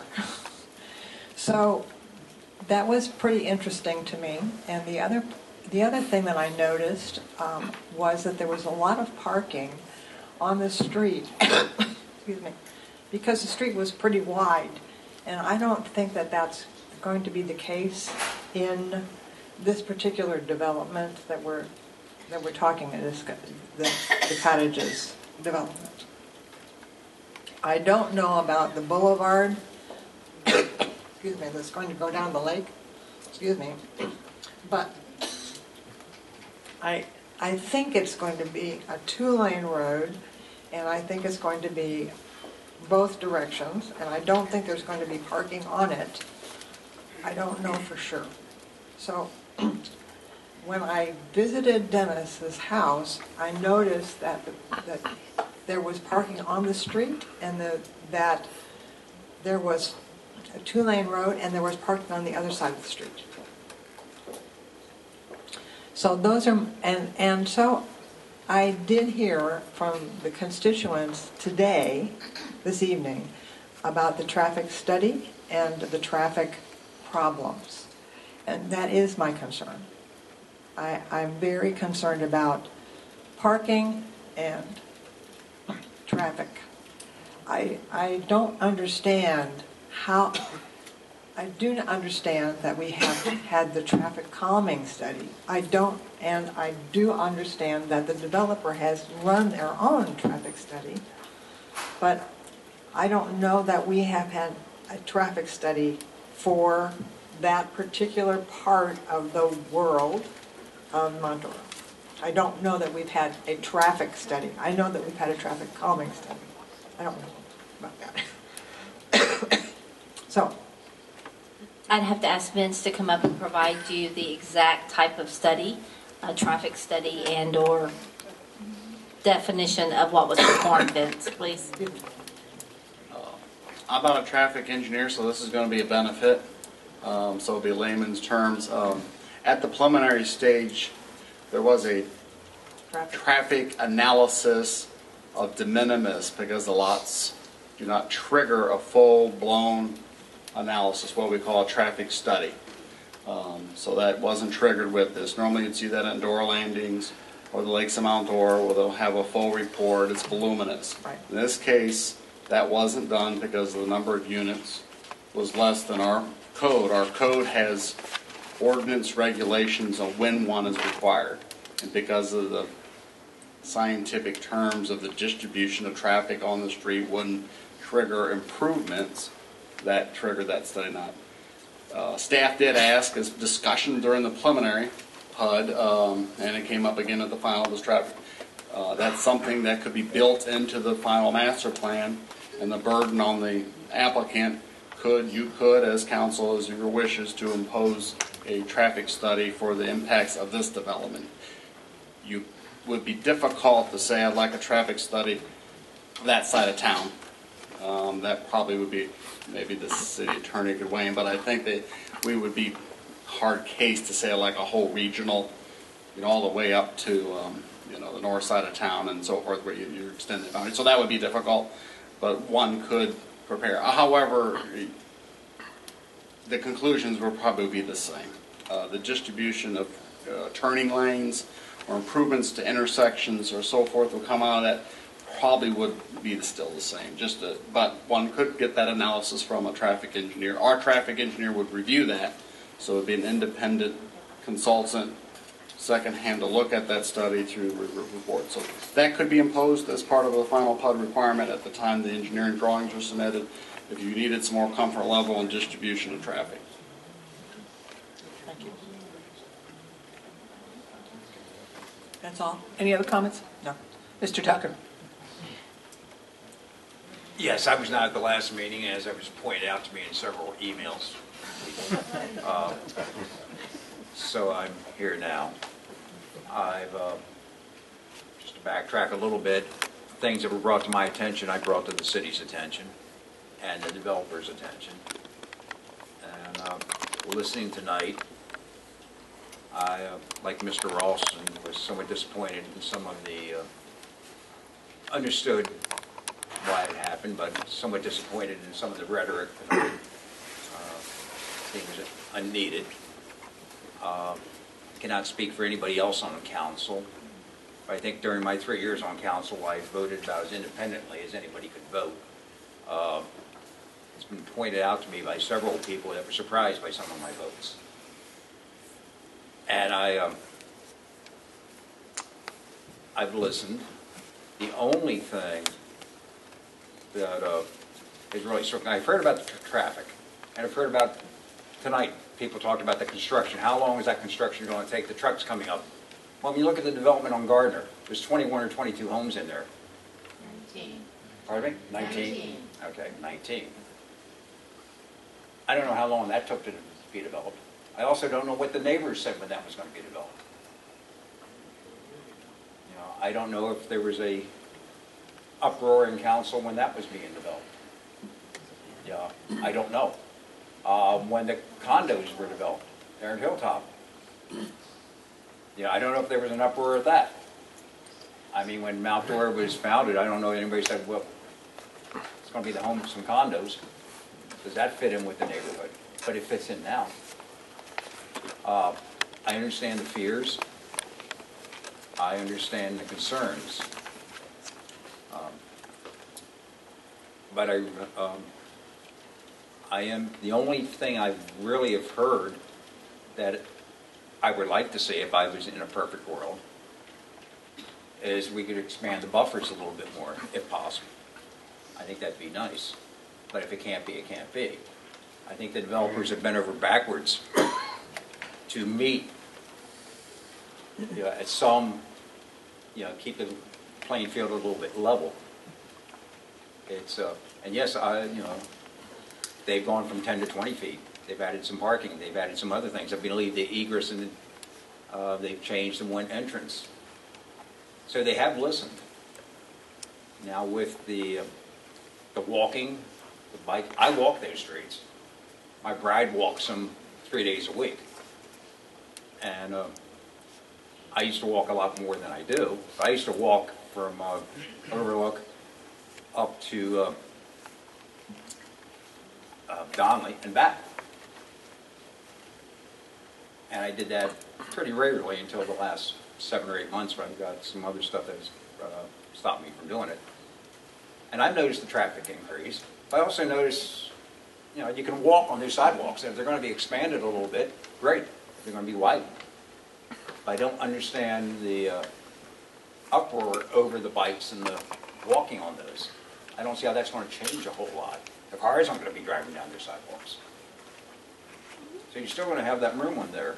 So that I don't understand. I would, uh, the development that's coming in is different. It's, it may not fit the quasi-essential, our view of what a home in Mount Dora should look like. My home was built in, you know, 1953. It doesn't look like the home that was built in 1926 across the street from me. By the same token, there's a new home that, that going in down the street from me that's not going to look like my home.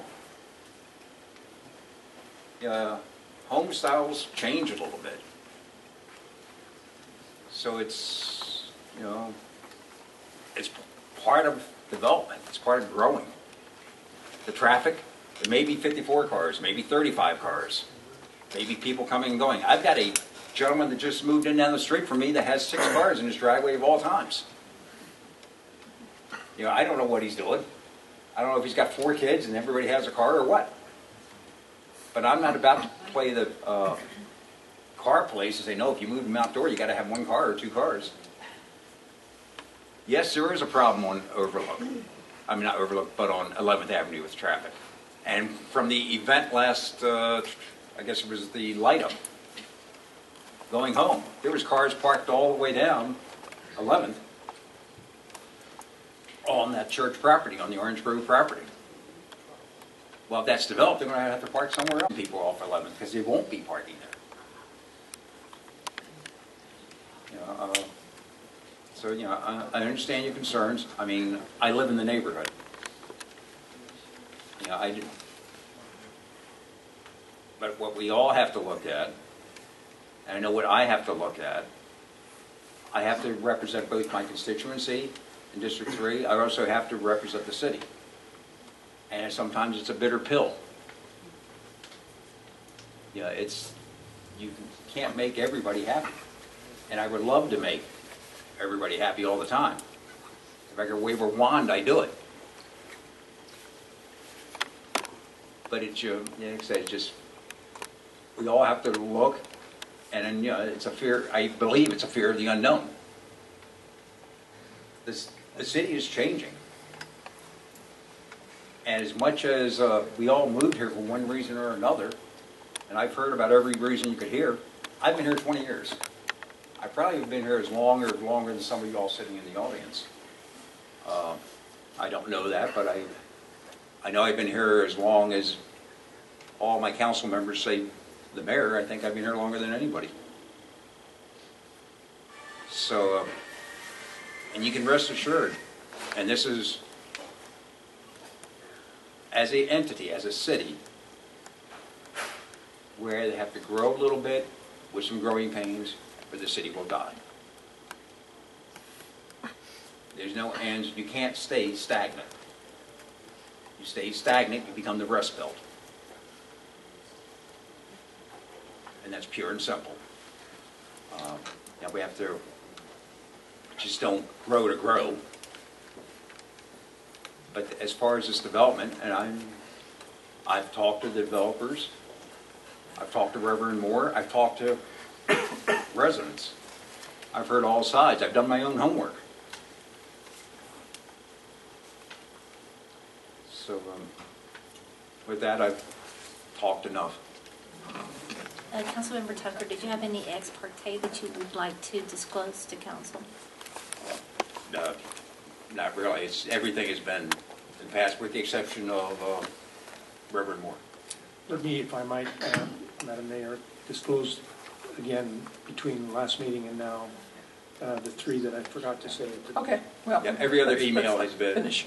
yeah, every other email has been to the group with, you know, Yeah. such as some residents over there, and then nothing since the last vote.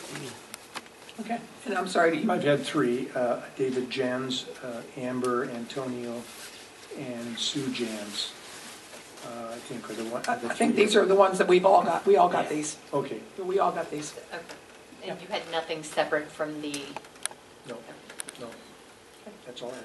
Thank you. Mr. Crail? Mr. Bassett? I've received the same emails. I didn't respond because I knew we would air those issues tonight. Uh, I welcome you to city government at work. You've had a ringside seat. Uh, In my view, the city staff has listened, the contractor has listened, there has been a balancing of interest in this process. Some of you may go away unhappy with the outcome, but it is city government at work. Uh, The comments of my compatriots, uh, Mr. Rolfson and Mr. Tucker, pretty much summarize my comments. So I'm going to adopt with those, adopt those and be quiet. There are a couple of things that I want to say. Uh, A lot of concern about sidewalk and bicycle and pedestrian traffic. I want to remind all of you that one of those conditions that is a part of this agreement is that the, there, there will be a replacement of that sidewalk adjacent to this development along 11th Avenue, and it will be five feet wide.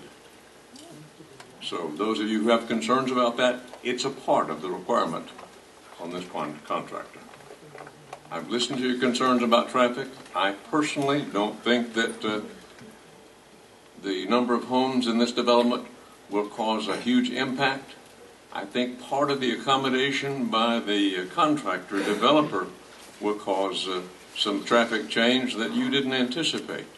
The contractor accepts a great deal of expense in agreeing to transport off-site all the refuge that is generating from tearing out that orange grove. We have, as a city, had several projects where we have had orange grove uh, removal, and it was burned in a, in a safe and approved manner on site. And I understand who people who live in this close area, this residential neighborhood, may not want that. The contractor has agreed to transport and haul that. That will increase traffic on your street on 11th Avenue. That's all a part of the deal. The contractor has acquiesced and will agree to bear the expense to load, move, and dump and dispose of the vegetable, uh, the, uh, the produce that comes off the, the, uh, that site. I, I understand your concerns about traffic, uh, and uh, concerns about parking. Uh, there are two car garages in each of these units, and there's a two car parallel, or rather side by side parking in the driveway for each. That's four parking spaces for each of those residents. I think parking concern uh, is a red herring. I think that's met by the plan here. Uh, we had some concerns about delivery vehicles in and out of there, uh, construction vehicles in and out of there. The turn radiuses have been adjusted for that. I'm satisfied with that in the engineering and design of the plan. Uh, I know that there are continuing requirements that must be met by the developer as we go forward, but uh, I, I will support that to move forward. I have concerns about traffic because, in my own experience, traffic in this general area has increased, and I'm sure all of you feel that way. There are times when I have difficulty crossing Fifth Avenue at Grandview. Someday we're going to have to look at more traffic lights. As a council member, I will tell you that we, I individually, will push for and make certain that we address the traffic issues for the future. If we don't do that, but we need to do it for the city as a whole. We can't do it just on this little area of 11th. We've got to address direct access thoroughfares across this town or we'll choke to death in traffic as we go forward. And, and as a councilman, I will assure you that that will be something that I will push for, something we'll ask for funding for, so that we do an overall traffic study to be sure that we're meeting the requirement and anticipating our future. I appreciate your involvement. Uh, we have listened. I think staff has listened. I'm satisfied that developer has listened and has made uh, all the reasonable accommodations that they can at this point. Thank you. Anyone else wish to speak? I'm not going to duplicate what's already been said. Um, I do believe we have tried to listen. Um, uh, We have allowed everyone to speak as much as they've wanted. It was disappointing that there were some comments that were inappropriate in my view. Um, We all live in this town together, and we all love this town, and I do, as the rest of the council people do, want to look at what's best for the council. I mean, what's best for the, um, well, that slip? What's, what's best for the community?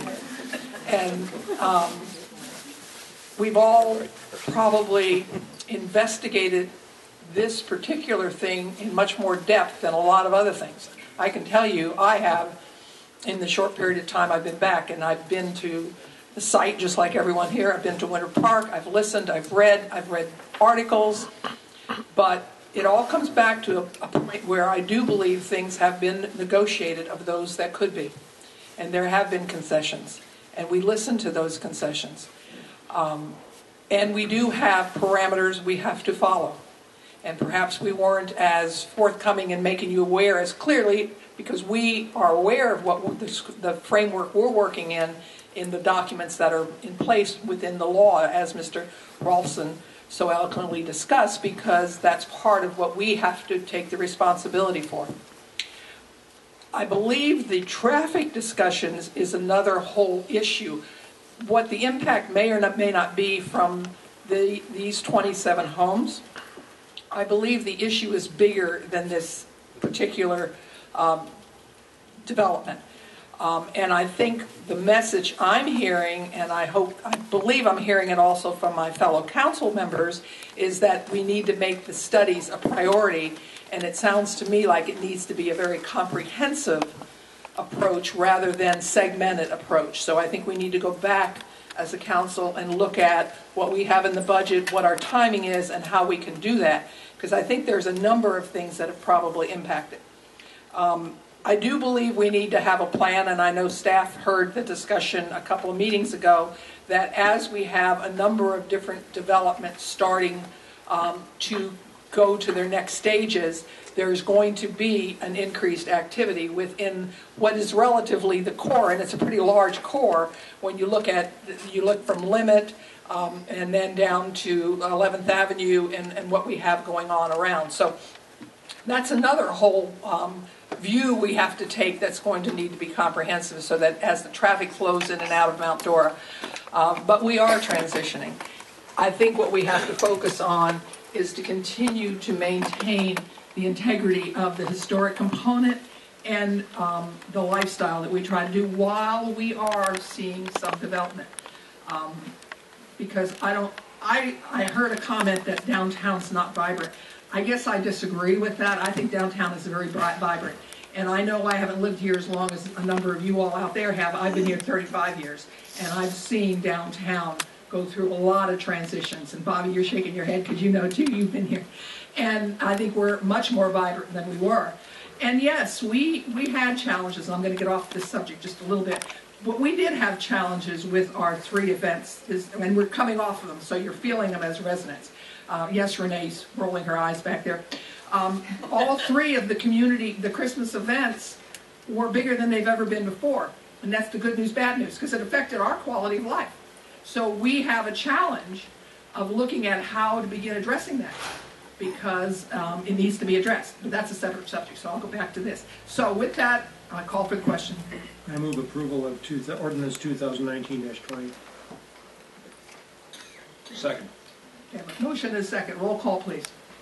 Am I able to amend that motion? Well, I mean, Plus, I had another question. Okay. Before it went so fast to a motion. I had my hand, I don't know. Well, I didn't see your hand, so, but that's all right, go ahead. Uh, Mr. Tucker said it went down to one entrance, is that true? No, he's, I think he said it went down to one entrance and half of another. It went from two full to one and a half. Okay, and then. Right? Yeah. The other one is in, out. Um, I just wanted to clarify some, a point that Mr. Masterson brought up, that, that we should clarify exactly what is being asked for here. And I understand that it's, it- it's not in our legal capacity to say there, we can't allow twenty-seven homes because that's the, what the density allows for that property. But understand that this PUD is asking for concessions from what the current zoning is. Current zoning is R1A, a lot width of 90 feet. They're asking for 50 feet. in a lot width. The lot size is currently 10,000 square feet. They're asking for 55 5,500 square feet. The setbacks, the front, the side, the rear, and the corner, they're asking for less of a setback on each of those measurements. So, and, and my mind is blown how, how all of you can say, I understand everything you just said, but I move to approve this without any, any further changes. So, so everything that was just said, how much of a traffic problem this is gonna cause, how much of, how much this development is not gonna fit where it's being developed, but we're not going to entertain any changes. I, I understand that we can't touch the density, but my, my initial question to Mr. Lightsey was the setbacks, and they're asking for a concession on the setbacks. And I would like to see a number put on those setbacks before I approve this. And I, I I don't know what just happened, that we went from, here's more discussion to an immediate motion that I can't amend. Okay, we have a motion on the table, and we have a second. And your motion was to accept the, My motion was to approve for second reading ordinance 2019-20. There have been no changes since the first, since the first reading. Mr. Tucker, you seconded. Yes. Now, it sounds like Ms. Stiles wants to amend that, but if she was, wants to do that, then the two people making the motion have to agree to the amendment. That is correct. And she has to specify exactly what she wants to amend, and then they would have to agree to. Both agree to it. Yes. Uh, I would like to amend the motion that is on the table to include a 40-foot setback for the line of homes that face West 11th Avenue. I do not agree to the amendment. Okay, Mr. Rolfson will not agree to that, and Mr. Tucker. Yeah, not being a builder, I can't agree to that either. I, you know, So now you can call the question if you'd like, or you can, uh, you can withdraw your motion. No, I won't withdraw my motion, and I move the previous question. Okay, roll call vote. Oh, Mr. Rolfson? Yes. Mr. Tucker? Yes. Mr. Crail? Yes. Ms. Stile? No. Ms. Burnett? No. Mr. Massey? Yes. Mayor Hoechst? Yes. Okay. Thank you all for coming. Shame on all of you.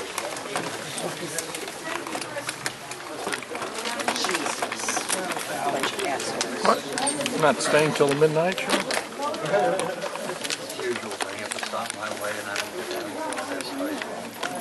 We'll take a five-minute break.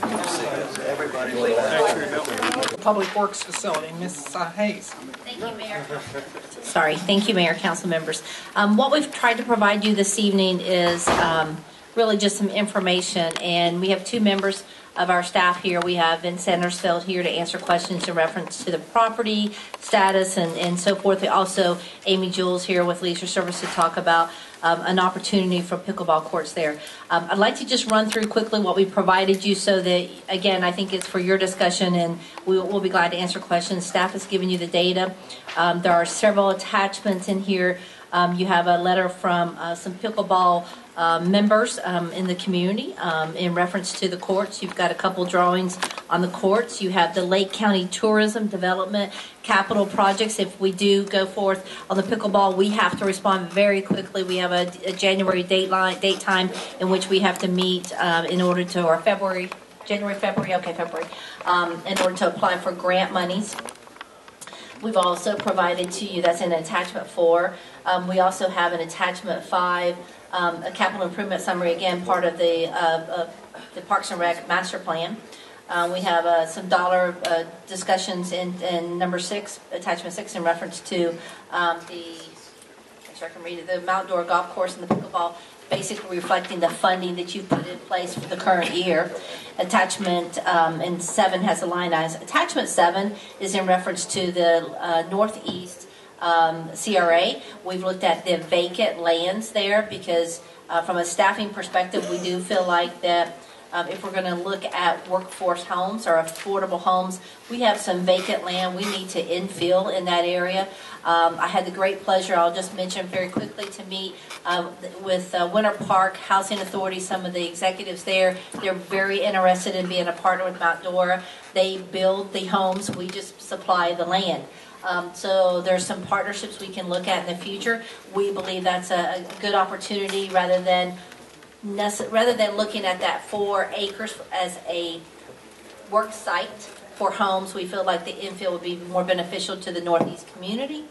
Um, And then uh, eight is a a future land use map. Again, Vince can answer your questions. So we provided you the information. Amy and Vince are here to answer your questions um, after you've had discussion, if you have any of them. Okay, and the, the essence came, from this came that once we cleared that land, everybody was looking at how are we going to use it, and the conversations were starting in different uh, arenas. My concern is that as conversations happen, people beca- be- begin taking ownership as if it's theirs, and we really need to talk about, at this table, what are all the options, and give staff some direction based on the input that they're, they've uh, given us. Um, And I knew of the two, there may even be more, but I knew there was a lot of discussion about how it might be used uh, for recreation, specifically pickleball. And then the other one, having sat on the Northeast CRA and also the recent um, community meetings and things, the discussion about housing and how we might look at affordable housing um, for our community. So with that, that's kind of where we asked um, Ms. Hayes and her staff to at least put some stuff together so that we can talk. And then as it happens, um, there is this grant out there that if we were feeling strongly um, and leaning towards the um, event of, of uh, addressing the pickleball uh, courts, that we might have opportunity for some funding um, um, with the county. So with that, um, it's open for discussion now so that we can get the information we need to give the staff some direction. Mr. Tucker? Yes, ma'am, thank you. Uh, Pickleball may be great, but are we going to talk to the residents in the Northeast about the pickleball and what they may want to do in that area? Or are we going to talk to the, get NECRA involved with that? And just so we're just not imposing what we think is The intent tonight is for us to talk about what we might think, and then we, we definitely would include NECRA and, and the community. In fact, some of us have been going to community meetings and listening to what the community is saying and, and, and the in- in- interest in affordable housing. Um, and actually, at one meeting, um, Pastor Robe, there was a gentleman there from Miami talking about wanting to build houses. So, you know, there has been some discussion already. So this is the opportunity for council to hear from staff and, and, and, um, and talk about what we think to start out with. And then this is the beginning of a process, but I wanted it to start out before people were already dividing it up as if it was going to happen. And that's what does happen. Amy Jewell, Leisure Services Director.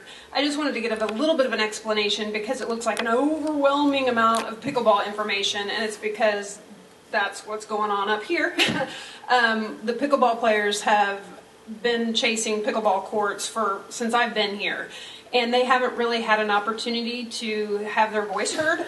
Um, we've done it through focus groups, but really what it comes down to every time is the lack of land. So we just wanted to be able, staff wanted to just be able to put this concept out there to say, okay, here's land, here's a major need that's in the community, and here's all the information that we have to back to back it up. Um, the Lake County Tourism Grant is the grant. The the application due date is February 21st. And ultimately, what we're hoping to get from the discussion is, is this even something that we should invest any staff resources into applying for? Um, is this a direction that we want to go? Because a requirement of the, of the county grant would be that we kind of have an idea. And um, I agree with you, we need to fully vet this out through all the different community groups. But we just want to feel we would need to start the application process pretty immediately after the holidays to start gathering that information and, and trying to figure out some of the data that they would need But I, I think also, Ms. Jewell, though, um, the master plan really spoke of this property as a continuation of a park system that we have. And um, I think that, uh, again, we brought to you the master plan for adoption, um, and we've adopted it, and that's really what it that's kind of the direction it led us in because of the other parks that we have there. We have tennis courts, we have racquetball courts, we have the disc golf, we have additional courts, then we have a pool system. Um, so uh, again, the recreation master plan does uh, move you in that direction, um, and I think that's that was kind of our our, our our basis. We would expect that we would have focus group meetings and other discussions. Obviously, the Northeast uh, CRA needs to be involved in that. Um, they've been involved up to now, and they will continue to be involved. Um, and then uh, again, to support that master plan, Amy, go over this this map. But this was really, I thought, one of the pieces that um, made sense by looking at this map and addressing um, how we implement that master plan to the next stage. So this is a really, really, really rough draft. There's, I could chop it up and tell you all kinds of reasons why some of the things on this won't work, and GAI would be insanely embarrassed if they knew that I had even sent this to anybody. But um, starting from the left, that's where you see the Public Works facility, and they've kind of drawn out a basic idea of how many courts. Even even with that, it's they're set in segments of eight, and really it should be segments of six. But it shows you um, where some of the parking could lie, and then it butts right up against the tennis courts. Um, they've got the road there that looks like they're trying to stop the road. I wouldn't recommend that. I think that road should probably still go through, and we would keep the racquetball court there. Um, and then you run right into really what I'm showing you this for is so that you can kind of see how the, the whole park would flow. Um, because you do have the disc golf course that takes up that big area. Um, they're looking at um, where the large stormwater pond is that has the really beautiful chain link fence around it. we can redirect that water. They feel very confident after talking to some of our city engineers that that can be redirected into much smaller retention ponds and then allow for parking, maybe um, make that into a community center there that would actually serve the Northeast community during the week, and then possibly a tournament venue in the sense of you've got your pickleball players out there, we've got our disc golf um, courses, which are in combination with the, or in collaboration with the county as well, and we're doing a good job of trying to attract more tournaments for that, as well as the baseball fields, and then um, on the far right is the mountain bike trail, which is starting to get quite a bit of attention, and we do already draw a large crowd from outside the community. So then they've allowed for parking for some of what did you those. Say that tr- the bike, or the, the mountain bike trail is? It's actually down here in the bottom. It's not on the map. It would be down at the bottom right Gotcha. because it's next to the dog parks. Yep, thank you. So they've, they've expanded the um, parking to meet uh, 350 parking spots, keeping in mind they're also thinking shuttling for special events from a parking area. Um, And they've got the ball fields that they've stretched out and turned it, uh, added an additional field to meet the needs of the growing Babe Ruth leagues. And then um, we've got this kind of Tootsie Roll thing looking through there. It's parking that's been added that would be a through road to the, to Lincoln. The dog park would be slightly reduced, but not to a point that it would um, have any a negative impact on the dog park. And then, as I mentioned, you've got the Ice House Theater and the um, mountain bike trail. So, like I said, this is especially the roads. I would probably make some other recommendations, but it was more to just show you the flow of how um, the park would just roll right into that property. And again, not trying to push you one way or the other, just it's an opportunity, and um, wanted to make sure that um, the thoughts of the pickleball players. We've tried to meet their needs through modifying the Donnelly um, Park courts. Um, we've done everything that we can down there. The, the tennis court, we can't eliminate the tennis court. We still have a lot of tennis players. The direction of the courts doesn't meet um, the requirements. Gets the sun is in their eyes and all that kind of thing. Um, we, as you all know, we looked at the Mount Dora Golf Association. Um, even in a perfect world, that isn't the, the best setup for the pickleball courts and for a tournament venue. They would be really spread out, and um, we'd, we'd, it'd be a shortage. We'd, we'd have definitely some challenges out there. So, this piece of land, out of everything that we've seen, we have a lot of property, but we don't have a lot of flat pro- flat park property that would um, lend itself to 18 to 24 pickleball courts. And again, I, I think that the, the master plan we went through, we did have the focus groups, so we have the survey information. We have the information was provided during that process, so we would have that to bring back. I, I still think some, some other types of open community meetings are necessary, and again, some meetings within the Northeast. But we do feel that, um, from the use of the land, that's an opportunity to use it for, you know, to use the, this property for that. Um, obviously, there were other um, interests. Um, We looked at the, um, the infill of, or the, the need for workforce homes and looking at that from an infill perspective. Um, I don't know how many homes I could get on four acres, 50, uh, but they would probably be row-style homes. Um, I would think in that area, very little yard. Um, But uh, again, it's not set up as residential. It is set up as a park. It is zoned as a park. Again, you have an opportunity to change that if you wish to do so. Again, we just gave you the details and the, and the, the current um, setup of that property. I'd like to open the discussion, uh, if I may, with a confession. I'm a pickleballer, a neophyte, uh, but a pickleballer. Uh, And I will tell you that it's the fastest growing sport in the U.S. It appeals to all ages. Uh, Even I can play pickleball, as old as I am. Uh, I don't run down every shot, but I can play pickleball. Uh, If we are a healthy, vibrant community, we need to address our needs for recreation, and this is one of those. And this is not a money pit. This has the potential for earning revenue for the city that is astronomical in terms of its popularity and growth and in terms of its ability to draw people in. When I met the pickleballer crew, uh, I don't know when I've ever been so warmly received and welcomed.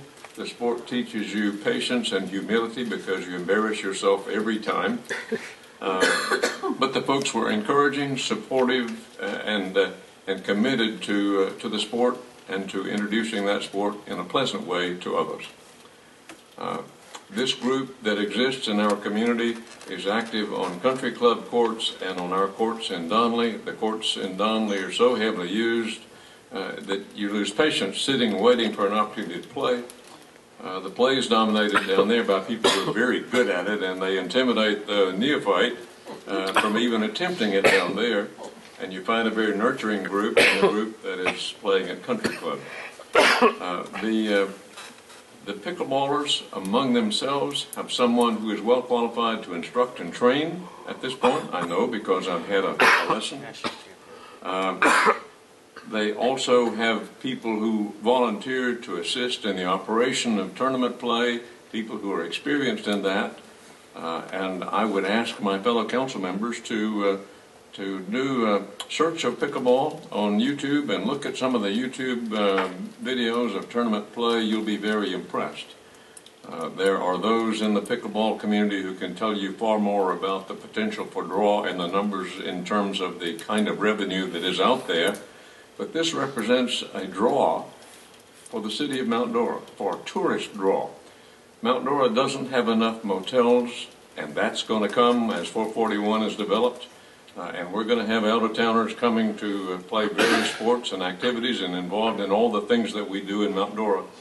Uh, and this is one of the things that would uh, would be nice in terms of keeping our community young and active and athletic and fit.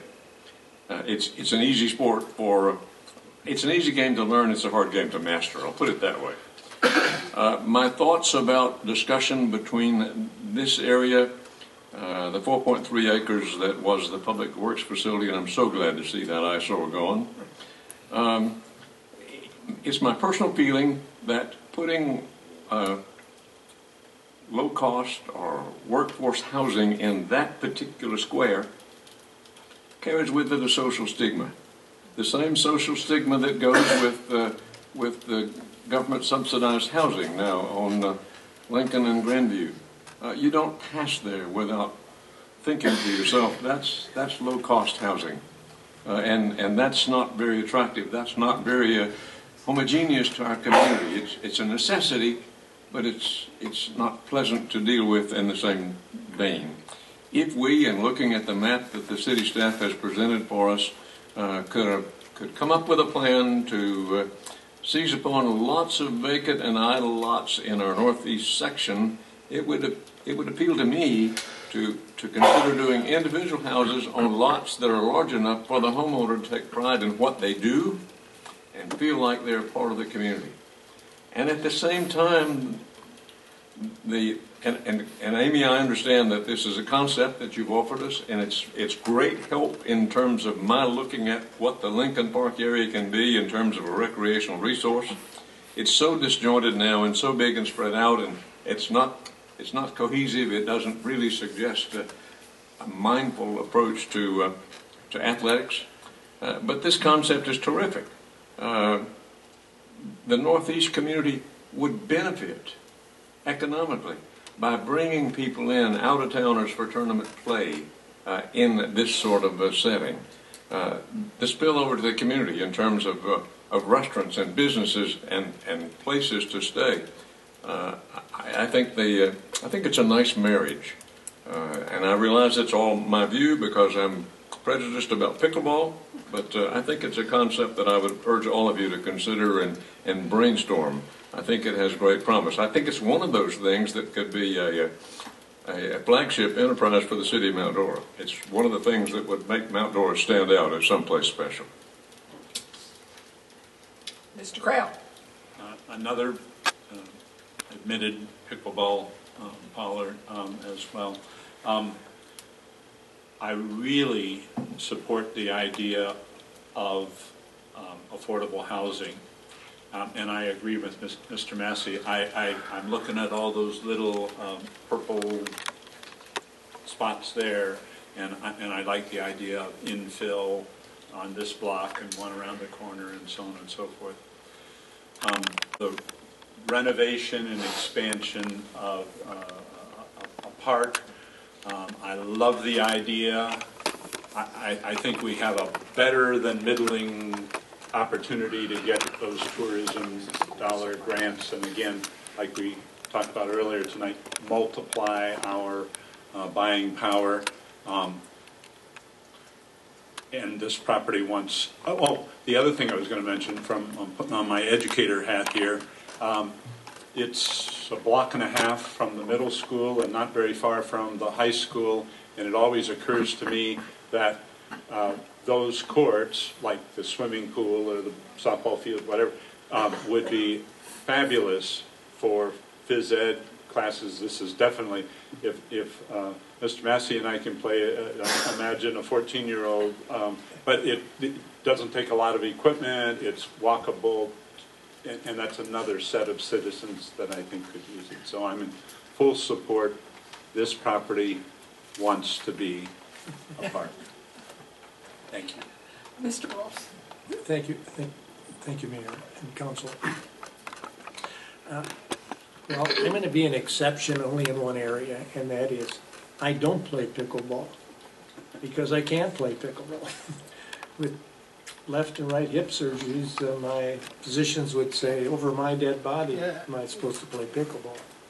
But I'm an avid sports fan and played tennis, and before pickleball, it was tennis in high school and college and wasn't too bad at it. So I understand how great that would be to do that. Uh, I want to remind everybody, uh, Mr. Massey touched on that a bit, what was there before? That four-plus acres was, I can say it now, a rat-infested, algae-infested, mold-infested building with underground gas tanks and fuel tanks that if I lived in that area, would have been an absolute embarrassment to live there. It was dangerous, it was an eyesore, It- I mean, I personally toured that place at the request of, at that time, John Peters, who said, oh, you've got to see this building. I didn't know what he meant. And now I do, or then I did, once I saw it. I think if I were a- an an official in a, in a county or city health department, I would have condemned that thing about 10 years ago because it was a terrible thing to maintain, but it had its purpose, and I can say that now, now that it's gone. So whatever would be added there, whether housing or, or pickleball courts or some third choice, is going to be a benefit to the surrounding community, period. No exceptions, in my view. I, I know if we, if this goes forward as kind of in this direction, that um, visiting with the Northeast community will be important. And they'll have an opportunity to weigh in and should weigh in, I- and I want to see that. Uh, The, the um, the, uh, Northeast CRA and the neighbors, and I'm sure that'll happen. I have visited with pickleball aficionados that live close to me, and uh, they have convinced me, uh, in addition to Mr. Massey's articulate and Mr. Crail's articulate pickleball commentaries, they have convinced me this is the place to go. This is the thing to do. Uh, I believe, and- and I'm convinced, based upon the research I've done, both on the internet, talking to a number of people about the value of pickleball courts, especially those that have national potential uh, uh, games, whatever you call those, uh, that national tournaments that would come to Mount Dora. Uh, I- I'm assuming that what Mr. Massey was saying, that, that is going to be a significant economic driver for the city of Mount Dora, period. Uh, And there, to me, there is no more obvious place to put this park is next to another park. So it has continuity and consistency in its utilization. It just, you flow, it just, a- it's just a nice flow. Uh, I can also see, for- and I'm speaking now as uh, the Northeast community, principally in my district, I can see a significant addition to small businesses supporting that, whatever it may be. I mean, if, if I were a businessman living in that area or not living in that, area, I'd want to invest in whatever it might be to support the folks that are going to come there. Various shops and little stores and things like that that are perfect community uh, additions that would support that because it's kind of an, if you build it, they will come. I see that as happening with, with regard to those businesses. So I, I like, I like the idea, uh, the conceptual concept is rough as, as, as Ms. Jewell has said, but it looks and, and makes sense to me. I have been in other parks like this in other cities where the baseball and other softball diamonds have been in a circular area. It makes strategic planning sense to me, best use of space, having a concession in that central area or nearby. Uh, It all seems to fit, and I'm anxious if this is uh, positive going forward, to see a more skilled, not that this wasn't skilled, but it's a rough draft, I know, but to see more detail uh, that will enhance that, and there are people smarter than all of us here that do those things uh, in a, in a good way. I think the neighbors in that community would, I believe, I'm guessing, but I believe their housing values would increase because of this. When you live to a park or a school, tell, I'm telling you, your property values go up. They always have, in my experience, legally and otherwise. So uh, I think that's a benefit to the community as well. So I, I support this concept, and I thank the staff for taking the time. I do want to see that grant application. We gained 200 grand today. Thank you very much, taxpayers. And, uh, and, um, and we are all one of them, uh, among them. So let's pursue that with aggression and get as much, with aggressiveness and get as much as we can. Uh, Hopefully max out whatever we can, and that'll take marketing by, by Amy and our city manager and those that do those things, good marketing uh, and lobbying. So I talked way too long, but I I really support the concept uh, that's been discussed. Thank you. Thank you, Mr. Rolfson. Ms. Burnett, do you have any comments for us? Just a question. I want to know where the trail is going to be. Um, So Amy, I'll let you cut over that, but the, So right now, there's a, um, right in front of the um, Public Works dem- demolished property, there's the bike walking trail that cuts through there, so, um, that carries all the way over. So there will be a trail that will connect this as well, all the way over to Lake Franklin.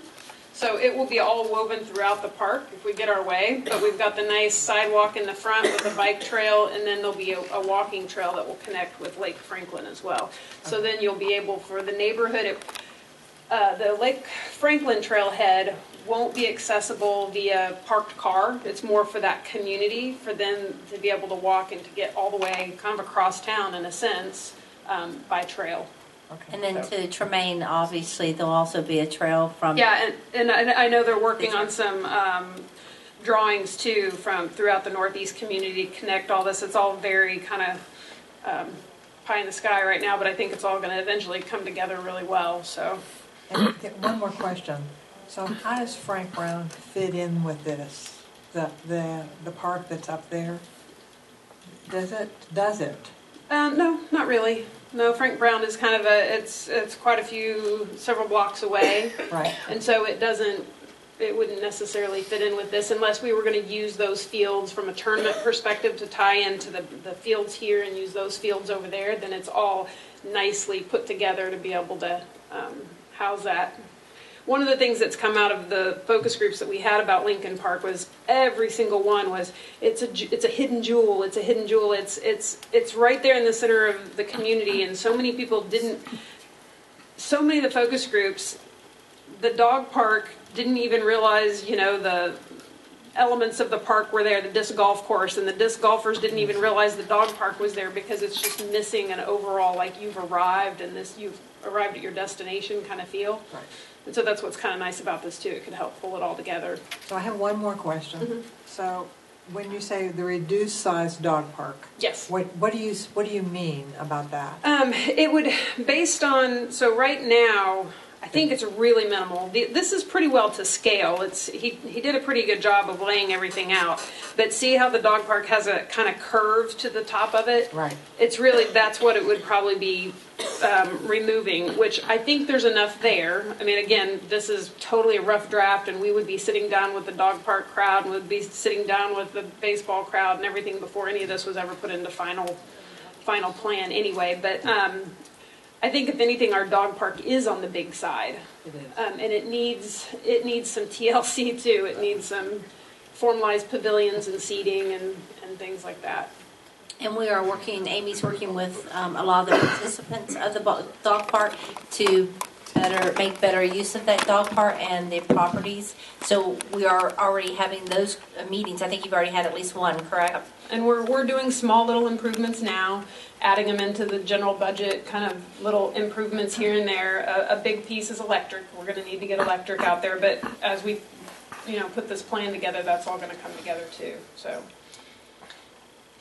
And I'd also like to mention the Grandview plan, the RMA Grandview plan really could tie into this, whatever we put there, um, because right now, it's in place, but there's nothing there. So we haven't been able to expand upon that. So um, th- maybe this will give us the, the real estate to, to really expand that Grandview plan and, and, and help those businesses along there and maybe even figure out, you know, what better businesses, uh, if you remember the plan, it stated first floor would be a business and the second or third floor would be possibly residential. Um, Again, additional homes in the area. Um, So I think that's something else that could be interwoven into this total project and, and plan. The pickleball courts also, I, I did put it in the memo, um, they would definitely be, um, high priority for Lake County Tourism Grant funds. But the grant we were just awarded, the Land, uh, Water Conservation Fund, would also be looking very interested in this piece of property, whereas we can't necessarily apply for Lincoln Park as, as it currently sits because we've got a FRDAP grant out that is, we're probably going to get that. So, um, but it does look like uh, pickleball would qualify for LWCF, which could either be our matching, so that it matches our tourist grant, or it could be in, in addition to, so. Yes, sir. Mr. Massey. I was remiss in not telling, in terms of education, since many of you are not pickleballers, that uh, this is a sport that you can play with a minimal investment. You can buy a, an everyday paddle, composite or wooden, for about 50 bucks, and you can spend, if you're high end, all the way up to about 150. You can buy three uh, wiffle balls, which are the balls that you play with, about the size of a baseball, and holes bored in them so they're unpredictable in where they're going to go, uh, for 10 bucks. Uh, and aside a paddle and three wiffle balls, you need a good pair of tennis shoes, and you're equipped to go. It's a sport that uh, is low cost to get into, uh, and I think I can speak based on friendship with the folks that I play pickleball with that you would draw a lot of support from that community in terms of volunteer time and effort to help organize tournament.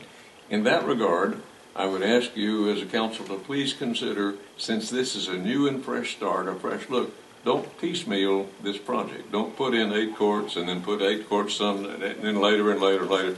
Do it as a, do it as a tournament-style play from the outset. Uh, And because you've got economies of scale in the, uh, in the process, in the engineering and, and work, uh, it's an exciting concept, and I'm so pleased that, uh, that it has presented itself at an appropriate time. Ms. Stiles? Um, Do you know off the top of your head how much, how much parking is out there right now? Oh, Amy, do you, I know we've, she's looked at all the parking. Um, not nearly enough. Um, I'm gonna ballpark it at about 100, maybe behind, maybe a little more than that behind the pool. But but it's, as far as paved parking, I would say it's even 60 or less, but then you've got the dirt parking. So parking has been an issue for the Babe Ruth fields. A lot of times, um, they'll take their coolers out with their, their um, snacks for the kids and they don't have anywhere on concrete to roll it, you know, so parking has been an issue. Parking's been an issue for um, Ice House, it's been an issue for the dog park, it's an issue for the mountain bikers, so, yeah, so we're, So here in your plan, you've got 350, 200, and then we haven't identified the parking over by the 18 courts that you've presented, which would be, there's a hundred, I believe, there's a 100, hundred okay. there, and then there's some parking in front of the tennis courts, like 24 spots. Okay. Um, and then, yeah, the Tootsie Roll kind of area is about 200. And then we, we could also always look at, if necessary, shared parking with the Ice House as well as with the school across the street. There's, there's options there too, so. Wait till we get a national tournament, we'll need every space. we would. I was just gonna, Chrissy's talking, so let me let her finish. Yes. Um, The area where the Tootsie Rolls are is pretty hilly right now because that is grass parking, so, so that will be paved parking. Uh, I mean, I know this is all very, Yeah, I think it could be either. Okay. It's not, um, that's pretty flat, actually, right through there. Um, this is moving into the pole yard area, which we haven't really discussed, but we would need to relocate our pole yard, which we're being hopeful about the new, um, Public Works facility. I think the Public Works guys have stopped screaming every time I mention that, so I think they're feeling a little more positive about it. Joe says no in the back. Darn! um, yeah, I'm, I'm super supportive of this plan. Um, You know, as rough as it is sketched, I, I'm, um, Again, this was never meant to be shared, so I just gotta say, it was, I I begged her for this ear- Yeah. earlier, so it's just a good visual. It- It's a Yeah. visual to give you a conceptual idea of what could be. And really, the discussion is so that they can hear your thoughts. And then we really need to send them off because they've got the different committees to work with and everything. But at least they know that if we're supportive of it here, and plus the timing for the grant. Right. So it's, you know. No, it's great. I definitely support it. And also, um, we just spoke last night at the Northeast Community Watch meeting about a, a community center that the Northeast can really, really use. So that would be a big, This is a Up there in 25, pickleball. the, the reason they designed some of the parking this way is um, they've dropped this in here, and I believe this plan actually goes back quite a ways. Um, It's a 25,000 square foot space, which is actually, um, and from my past life, 25,000 square foot would be pretty usable for an inside gymnasium for, for pickup basketball and hoops. It would also be able to have probably a large multi-purpose room that could be broken down, down into two or three rooms. So if you wanted to offer group exercise or have a place for community groups to meet, that you wanted to separate them out, you could still do that and have a kitchen area and probably a locker room and, and restrooms just in that area, as well as potentially three or four offices in case you wanted to have a lifeguard housed out of there and a, a Northeast community staff member or, Community police. Which Yeah, area yeah. are we referring to with that comment? Which area? The- Where it says community center down there above the park. Gotcha, I got you, Yeah. thank you. And, and keep in mind, we're renovating the pool right now, we're marciting and doing the filtration, which the filtration very well could be in a um, outside unit. The timing might be right in the sense that we don't need to renovate those locker rooms if we went, if we move forward with a community center, maybe we just build those locker rooms and restrooms into the community center and then remove that sore eye anyway, so. Maybe a breezeway between or something, so it's all appears connected, even if it's not totally Yeah. connected. yeah, great. I love it. Okay, Mr. Crail, and then Mr. Tucker, you haven't had any comments yet, but Mr. Crail, you wanted to add something to what Jerry said? Well, I, I, thank you. I, I was just thinking, a, a, a good model, if you haven't been over to Hickory Point, uh, on, on, on uh, State Route 19 where the new bridge is being built, um, uh, two years ago, I think, the county tourism uh, dollars were used to make what I have heard is either the biggest or One of the one of the biggest uh, sand volleyball complexes. Um, And uh, since then, they've added um, lock, lock, not locker rooms, dressing rooms and training facilities and things like that. Um, And they have a lot of statistics in terms of what kinds of uh, volleyball players show up. Some are kids, some are adults. They all need a place to uh, stay, they buy gas, they, eat meals and, and, and and like to shop and all that sort of thing. Uh, um, And I, I, um, I think that's a great example that it has worked very locally. Mr. Decker. In full disclosure, I do not play pickleball. What? I'm not as old as you. You'll I'll get there. Next year, next year. You should have never gone on public record with that. You're going to be recruiting for sure now. I know. No, but in- my sister plays pickleball. My sister? older. Uh, my bride has played pickleball. Uh, her girlfriends all try to recruit her to play pickleball. They all play pickleball. I'm an ardent supporter of pickleball. I even bought my sister a pickleball bag with her name on it for her, whatever the racket's called. But anyway, I digress. If this, this looks pretty good. Uh, my concerns would be cost in the long run and uh, the Northeast. As long as the Northeast is on board with it and it's going to, if we see some benefits to it, I'm all for it 100%. This would tie in everything up there. And don't you dare ever, your artwork is amazing. This is not my artwork. Okay, this, this is actually for council discussion, Yeah. but Mr. Masterson, I will allow if it may, keep it short.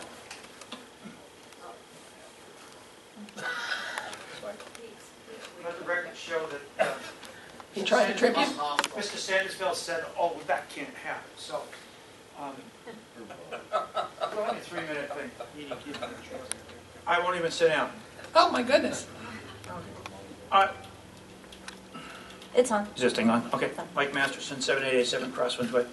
I guess I'll approach it from a different way. I think it's the job of a city to provide a variety of, of support for its citizens, police and fire, roads, drinking water, etc. And there, your enthusiasm for this concept discourages me from the respect that what about when do we stop being an entertainment city and when do we provide support for our citizens? And I don't know in the five years I've been coming to these meetings that I've heard about a project that was totally focused on the lower 20% of income within the city of Dora. This is an opportunity that seems to have gotten cast aside, worker housing. If you listen, if you read the Orlando Sentinel and you see what's going on down around um, Disney, they're actively working to try to incorporate into the construction of all, any of the new parks worker housing. We have a lot of low-wage jobs in downtown, waitering, uh, clerks, etc. And I wonder where those people live and how far they're commuting to work at these shops. And would we get perhaps a better quality worker if we had local housing as opposed to whatever? So I, I would ask that you take a look at what are, what is the city offering to the, the lower 20% of our city, because 50 bucks, 50 bucks for a, a paddle, and then you had sneakers, and, and then you gotta have gloves, and some might need uh, masks, et cetera, uh, goggles, whatever. You're talking a fair amount of money that you might get invested in. So I would think, say, before you get your enthusiasm going for this thing and running off because it might bring tourist dollars, think about how this city is supposed to serve the other part of this city. Okay? Because I'm, I'm a little discouraged that everybody got on this bandwagon. And I don't mean to be the conscience, but I just say, remember, there's other people in this city. That's all. Thank you. Thank you. And actually, we really did talk, begin our discussion about affordable housing, and that's another whole piece that we're going to be dealing with. If not now, when? You've got, you've got. We've been having discussions in the different, the um, committees. And that's, and actually, as I said earlier, um, Pastor Rowe, the gentleman from Miami, was here, what, two months ago? So yes, we, we know that that's also very important. There's a balance of all the different things. I, I think that if you were to say, we're going to advance both of these articles at, at, at the same degree of enthusiasm and momentum, I feel a little bit better. But it's, it seems because of the enthusiasm that that part got Well, shunted and, aside pretty and I guess, I guess, I, I hear what you're saying, but I think part of, when it comes to the affordable housing, we would like to hear back from the Northeast as to what, because they've started that discussion already, as did the community start in their community meetings. So hopefully that's gonna get to and the Northeast CRI and get back to us in the, in the continuation of it, because that is. I- I. Thank you for the courtesy. It'll be on the agenda. Yeah. Okay, so, seems to me there's support in moving forward for them to look at this.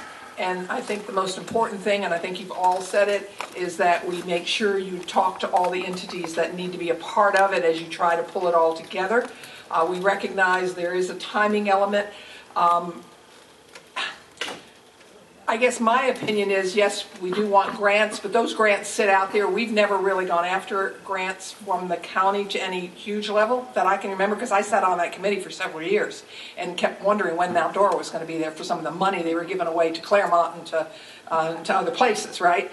So, you know, there, there are cycles to it, so it would be nice to be able to hit that, but if it in any way, in my opinion, infringes on our ability to do good planning, then maybe it's not this cycle, but the next. And again, I'm just saying that in a bigger picture, you all have to do the determination because we depend on your, uh, it's your staff that's going to pull it all together. As we have the side-by-side discussions going um, also about the other components, since that no affordable housing was one of the things everybody thought. I feel very similar to what's already been expressed. I would like to see the infill and, and be able to identify however many sites we can so that they become part of the community rather than having what, whether we like it or not, the social stigma of feeling like it's tenement housing or low-income housing. It, it, it, it's affordable housing and it fits into the community and with the number of what appears to be some lots we could work with, I would also like to see that, if the Northeast is agreeable to it, to get that moving too. So that's part of the agenda. Okay. And we'll be moving forward with Right. that. Uh, Yes, we'll be moving forward then. Thank you for doing this so quickly. Okay, so departmental update for November, I believe we're at. Uh, Yes, ma'am. Uh, So the report's in there, if you need that. Um, I would encourage you to read through it. Um, Good information from our lobbyists, um, and let me pass on some quick information. Uh, John Wayne Smith, who is our representative from uh, uh, Peebles Smith and Matthews. Um, John has had, uh, suffered a stroke recently, um, had to be cauterized. Um, he is up and walking and moving, but he's not working right now. Ryan Matthews, the other partner, one of the other partners, has reached out reached out to me to explain to me the status. Um, and to just keep us an update and keep us in the loop. What you'll notice in the e, in the package is emails from Angela, another member of their group. Um, again, giving us great information. Um, just again for the public, it said that um, let us know that the city's Britt Road Utility Extension Project uh, House Bill 3593 is on the agenda in the House Agricultural and Natural Resource Appropriations Subcommittee. Um, and then she further to further uh, another day further told me that uh, just an update um, to keep us in the loop of the information. Um, and I think there's probably one more email that says um, the House Bill 3593 passed the House AG and uh, Natural Resource uh, Subcommittee yesterday with no opposition. So again, so these are appropriations. These are monies that we're not going after on a grant. These are appropriations from the state. Um, that, and I don't know the exact dollar amount for Britt Road. Mm, Two Half million, half million. Okay, half million. So again, it's funding that we don't need to come up with. It's funding that will be provided to the city to, to go forth and again, Wolf Branch. So we're very excited about that. Um, and I think, let me get back to the agenda, I apologize. Oh, Chet. Okay, so construction. So come on up, Chet, and let's uh, go through our, um, To find the construction project updates. Well, good evening. Uh, We'll do a quick update, as we have in the past, on a few of the current projects. Um, At the Fifth and Baker dumpster enclosure, this is the last one to uh, get into operation. Um, Public Works has worked on the site for corrections uh, to access the compactors and also to uh, parking spaces, which was successful.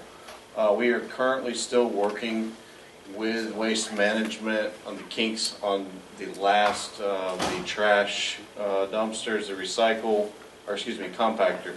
The recycle compactor is operational, um, and we're meeting actually this week with Waste Management to solve the issues with the last one. So- And it's a leveling issue? Yes, it is. Um, We hope to solve it with adjustment of the machine itself, not have to get into any of the, the parking lot, the paving. Um, So we're working with them. Uh, We, we experienced the same issues at Fourth and Alexander. It's really a learning curve, so uh, we'll get through it within the next few weeks hopefully, and, um, and the temporary dumpsters will be out of there, so. Those are just in place to, to handle the load right now. Um, as you discussed, just discussed, the, uh, the Highland demolition is complete. Uh, we just had a few pictures here this weekend. It was actually hydro seeded. And, um, I was out there just before this, the council meeting and, uh, they were moving the last of the temporary fence that was the, uh, keep the public out of there. Public's, I don't have a picture in this, but Public Works did, um, install a fence around our fuel tank that's left uh, to secure that. Just, it's not operational, um, but just to, for the security of it. Um, So that, that area is seeded, and with this rain and, and the contractor watching it, we'll have grass there before we know it. So can you kind of give the council a quick, I know we talked about um, how long the contractor will be on board until this is green grass versus just the So- spray? So he has a 30-day, um, of course, they keep a a watchful eye on the weather. With this hydro seeding, it's, it's a very successful process, especially with the weather we're having now. If it dry, if it, dr- if it dries out, um, he will be responsible to, to water it and to ensure that it, it- it does take, take seed. Uh, the, the land clearing is the, the last project that, um, that is hundred percent complete. Uh, the seeding process there was more of a traditional seeding, uh, due to the size and, and what we'll eventually do, uh, with the, with the land. Um, so that actually, I visited that this week and, uh, with this rain, it, it's actually sprouting too, so, um, a good success there. The last uh, item we'll speak to is the Third and Baker parking lot. Um, The positives there are that uh, last week and and completed this week, Public Works uh, replaced some of the sidewalks uh, in front of the lot that were just old and and cracked and damaged. Um, We've, we've got a few of the other of the historical plaque installed, and the bench and, and trash can and things of those nature um, for the upcoming restroom. And um, we actually have CPH here tonight with us um, to discuss kind of the measures going forward. Uh, We've investigated it with, the- with the engineer, with the contractor that actually performed the work. Um, There was a step that was misinstalled, an, an underlayment, a fabric. Uh, We've, we've spoke to the contractor about that, I have, and we have communication. Um, They've acknowledged that, and they are, they're going to fix that at, at no cost to the city. Um, So that, that will take time. We plan on doing this remediation work uh, sometime in the spring after our events, keeping those in mind. Um, And I could let, if Scott or Ben wanted to, to to say anything as far as the engineering aspect of it. Good evening, Scott Brighton with uh, CPH. I also have Ben Buencamino, who's the project manager, been working with Chet on this. Um, Yes, we're committed to making sure we get this problem uh, taken care of. Uh, We're working on a detail that will, we will work with uh, the contractor in the city to help uh, once they go in and, and install it the correct way, uh, we'll be able to get appropriate seating uh, to take the place of the sod that was put before. Uh, Ben had reached out to the manufacturer of the GeoGrid and uh, uh, basically discussed, uh, you know, the levels of traffic going through there. uh, And that was the manufacturers of the uh, product. uh, A recommendation is probably moving forward with a, a seed approach and let it establish a root zone. uh, Versus the grass, correct? Versus the grass, correct. Very good. So we will close down once we, I think from, from the discussion earlier, um, once we're through season, close the park down. They'll come in and correct it, clean it up, Yes, fine. reseed it. Mhm. Yes, by the time, uh, we'll have worked with the city and the contractor to develop approach to get this done correctly. And so that once the events are done, the contractor will come back out, uh, pull out the, the, uh, basically, it was the membrane fabric that for the gravel underneath, uh, they didn't, they didn't install it correctly. So uh, I don't know if that was necessarily the the total problem, but uh, once it, uh, we get involved with it, we'll get it, get it straightened out for, for us to have a, a parking lot. And at no cost to the city, all of this is covered under the contractor um, and CPH to correct the, the drawings and go forward and to show that as. We're already working on the drawings, so. So we'll just have a little bit more time. Um, In the meantime, I think Chad has said that they'll continue to go out there and, like right now, we have some mud. Right, and they're closed on Mondays and Tuesdays, trying to let it Yes. correct. Okay. And it will probably be closed tomorrow with this rain today. Okay? Otherwise, it will probably be under. Um, But uh, through Chet's uh, investigation of continuing to look, and I know all of you have expressed your concern for the parking lot, um, and, and re- he reached out to CPH, and again, coming back to the decision and the conclusion on Friday and today, or Monday, today's Tuesday, Friday and Monday, that we had a little more of an issue underneath than it was originally uh, thought. That's correct. Thank you. Thank you. Mayor, could I, Chet, could I ask one question? Could we go back to the uh, limit uh, property that's being leveled? Yeah, there's a swale in about in the middle of that.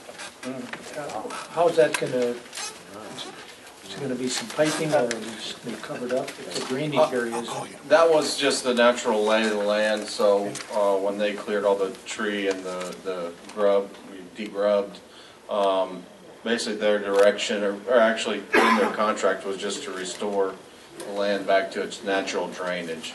So we don't want to change anything at this point. Sure. That'll come with the, uh, most likely the Public Works complex. Sure, but any- site plan. Any facility that's built will take that into consideration. Yes, Sure. yes. Thank you. Anything else? Thank you. I just wanted to add one Okay, thing. Joe has something to add. I just want to add one thing. The uh, fuel depot is mothballed at the moment, but if we need it, we can use it in a heartbeat. So that, we left it there for a reason, just in case there was an emergency. And it, will- it, it can easily be relocated if we do pickleball reports or anything else. All right, thank you. Thank you. Thank you.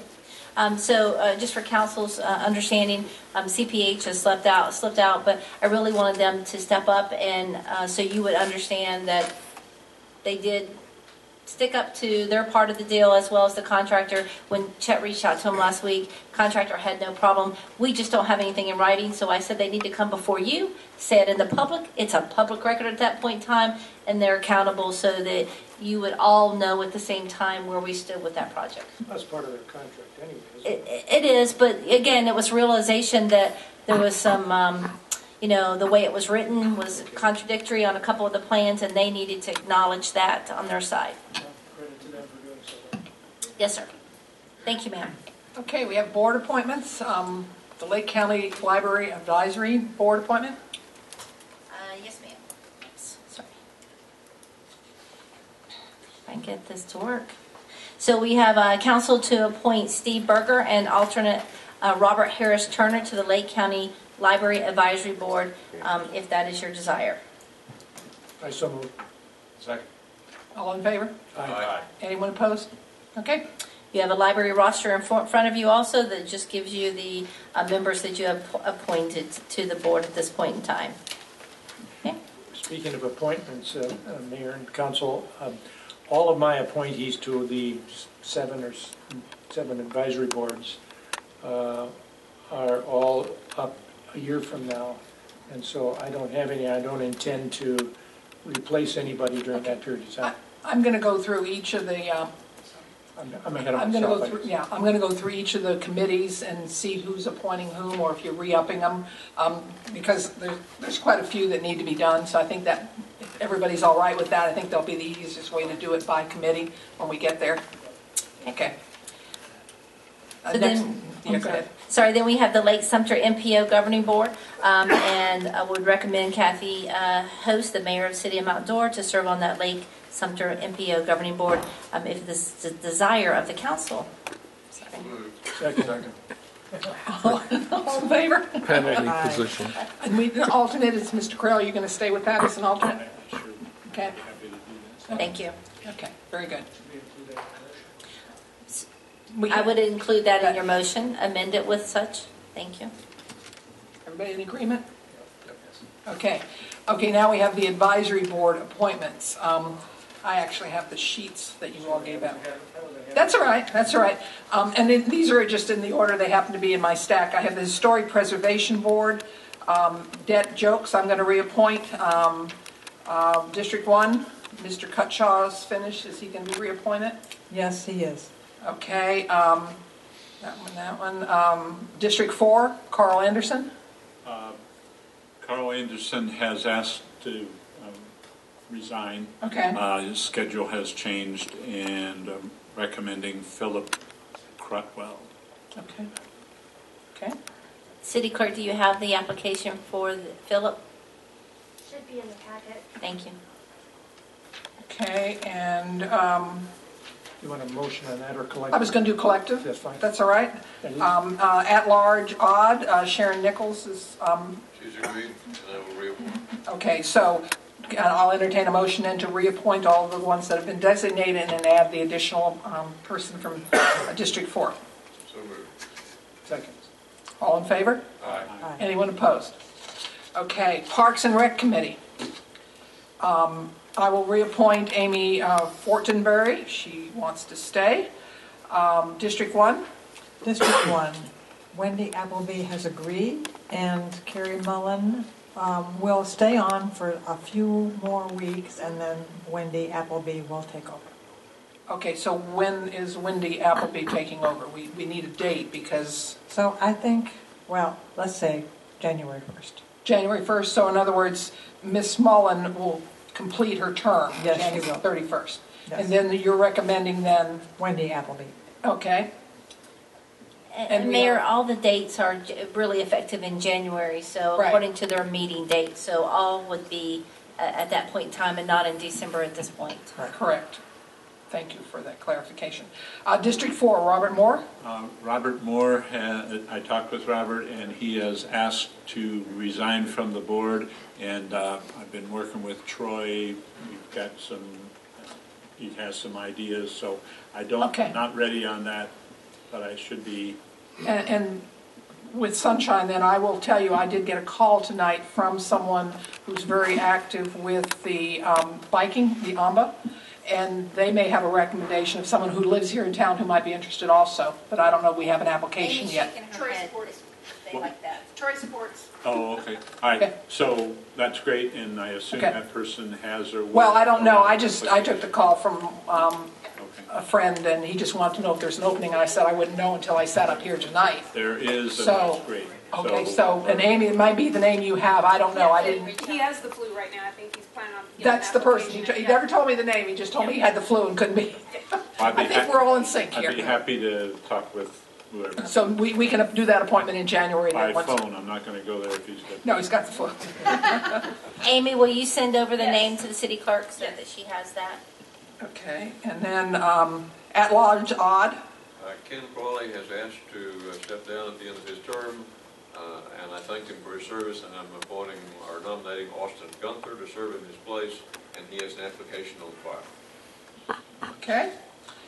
And um, alternate member at-large, oh, that's mine. Hmm, I haven't seen Tom when he's had the family thing, so, So I let's mean, wait we'll wait until January for that one. Uh, And then um, District One alternate member. District One, Parks and Recreation, Wendy Appleby. Yes, is she going to remain? She's gonna, she's moving up to be the district. Oh, okay, I- now I didn't understand what you were saying. So you still then have an opening down here? Right. Who's going to be your alternate then? I don't know. Okay, so you still need someone also? Okay, that's fine. Um, So I'll take a motion for the ones that we've talked about. We have two that will need to come back then, the alternate, and then my alternate for- as mayor. And, I'm sorry, three, and then yours. So we have three, so we have, I move approval. okay? Second. All in favor? Aye. Anyone opposed? Okay, the Northeast CRA, I'm reappointing, reappointing Rona Rowe. Um, District one, District one, um, Darius Strong. and he has an applicant on file? I think he does, I don't know, We could approve subject to that, subject to that. do I think. Okay. If the, uh, if the application's not in the packet, we don't have it yet. Okay. So you could just ask him to fill Oh, one I'll out. ask You him. can reach out to her. I'll ask him. Okay, thanks. Okay, um, Yeah. Steve Harley, District Four. Um, I've spoken uh, to Steve, and we're good to go, stay on board. Okay, and um, at-large odd Janet mentioned. I spoke with Ms. Manchon, she is willing to serve another term and has been active on the board, uh, Yes, she and uh, I will renominate her. Okay, so I'll entertain a motion then to um, accept all the reappointments. I so move subject to the one that. uh, The application in for Darius. Second. Uh, being finalized, thank you. Okay. All in favor? Aye. Anyone opposed? Okay. Library roster. Let's see, um, Steve Berger, be reappointed, I talked to him. Let's see. Pam, District One. District one, it was me, and Yeah, I so. Helen Cutshaw has agreed, and I do not have an And she was the alternate, okay, Yes. And I will work on that. okay. And District Four?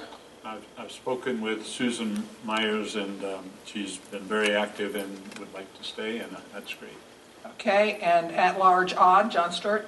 John Stewart, uh, talked with him at length, he's uh, very interested in continuing to be reappointed, and I so do. Okay, and um, I will be reappointing um, Robert Turner, Harris Turner, as the alternate, and then you'll, um, Ms. Burnett, get one on. Okay, so I'll entertain a motion to accept the reappointments. So moved. Second. All in favor? Aye. Anyone opposed? Okay, s- CRA Advisory Committee, I'm reappointing Akhtar Hussein, um, District 1. District one, I am reappointing Glenna Birch.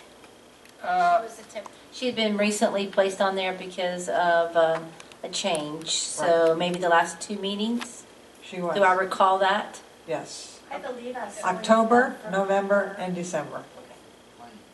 I believe Oh, I I'm sorry, planning, um, yes, what did you, s- uh, I'm sorry, I'm at CRA Advisory Committee. okay, sorry. Oh, I was on the planning myself. Doing CRA Advisory. yeah, right. That was, um, Nancy Ballasone? Oh, yes. Nancy is going to re- reappoint. Okay, very good, sorry about that. And uh, District 4, David Burnt? Uh, David is very interested in uh, staying, and that's great. Okay, and at-large odd, Joe Gillespie? Joe has agreed to serve another term, and I so afford. Okay, do I have a motion? Move to approve. Second. All in favor? Aye. Anyone opposed? Okay, Public Arts Commission. Um, I'm reappointing Tom Decker, uh, District 1. John Westner. Reappointing, okay. Uh, Mary Ann McNamara, District 4. Yes, she's uh, good to go, and I would support her reappointment. Okay, and at-large Harlan Middleton. And uh, I reappoint Barlow, uh, he says he has another term in him. Okay, good. Okay, so I'll entertain a motion for all the reappointments of the... Second. Second. All in favor? Aye. Anyone opposed? Okay, Planning and Zoning, I'm reappointing John Cataldo. Uh, You're uh, reappointing Glenna Birch? Yes, I am. That's the one? Okay, and um, District 4? I'm reappointing Mike McGuire, who would like to continue. Okay. And then at-large odd, Doug Brandt. Reappoint, he's uh, the most eager. Okay, so I have all reappointments. Um, I'll entertain a motion. So moved. Second. All in favor? Aye. Anyone opposed? Okay, so that takes care of all of the appointments, but the ones we have to come back and do. So with that, city attorney report. Yes, ma'am. Um, we actually have no new claims, which is good news. So, Yay. um, I have nothing to report there. I don't even want to make anything up for you. So, um, Thank you. the next item on the agenda that I have to discuss with you is the Bradner property update. You'll recall, um, two meetings ago, we signed the real property purchase agreement to purchase the Bradner property, and we were in the process of getting uh, an appraisal report. The uh, appraisal report did not get finalized within the time period that we had, the 20 days. And so we have asked Mr. and Mrs. Bradner if they were willing to sign an extension. The timing for them to agree to sign the extension was after this agenda went out to you all, so I could not get a, a document together to get on the agenda. But what I'm requesting at this point, they have put it in writing that they're willing to extend the time period for our due diligence to the 23rd of December. So I'm asking that you all direct myself to draft the appropriate amendment, which just simply amends the due diligence period through and including December 23rd to enable us to finalize the appraisal process. And we'll, go ahead. Um, And I'd just like to add to that, if I may. So um, through this process, part of this uh, conversation that we've had over the last couple of weeks that have been, that's been addressed is the fact um, as to whether our appraiser can truly um, appraise. Um, So Ed Barfield represents the city in negotiating purchases in right-of-way and acquisition of property. He is a state certified appraiser. Um, our RFP that he is working under actually qualifies him to, was bid as a right-of-way acquisition and a property um, negotiation, not as a state appraiser, not as an appraisal services. So um, he submitted a proposal that he would like to offer those other services as well as appraisal services. Um, And our uh, prior legal accepted that proposal and, and, and there was a lost bit of um, assumption and, and, and uh, really communication is the best way I can say, that he really should not have been appraising. Now, we have not used him as an appraiser except for the limit, and this property, we had brought to you a consideration for that. Um, uh, Tim Wilson's gone out and he's went through three quotes, has a qualified appraiser for this one, and that person is a local um, uh, company. Um, um, Mr. Barfield did negotiate the purchase of the Goby property. Um, He did go out and uh, request two um, quotes and had two appraisers from other companies because he negotiated, he was in conflict with actually providing us the appraisal. Those were $4,500 and $4,900 for those two. Um, So uh, the long and short of it is we have to go out with a new RFP for appraisal services, and we'll ask that those be uh, restricted on giving us a dollar amount in there so that we control that and it's not a bidding war on what that might be. Um, And that we use Mr. Barfield for his services that he was uh, that he replied to as, as far as an RFP and only uh, right-of-way acquisitions and negotiation of properties and that type of thing, and keep the, the two very separate. Um, He does have uh, an obligation as a state license holder to give us correct information. It could be revoked otherwise, and uh, those of us who have licenses, we know how that works. So I don't believe we have an issue there, but we don't want to put ourselves nor him in that position. So um, through this, the discussion at the last meeting, we've found all these things out. We appreciate that information.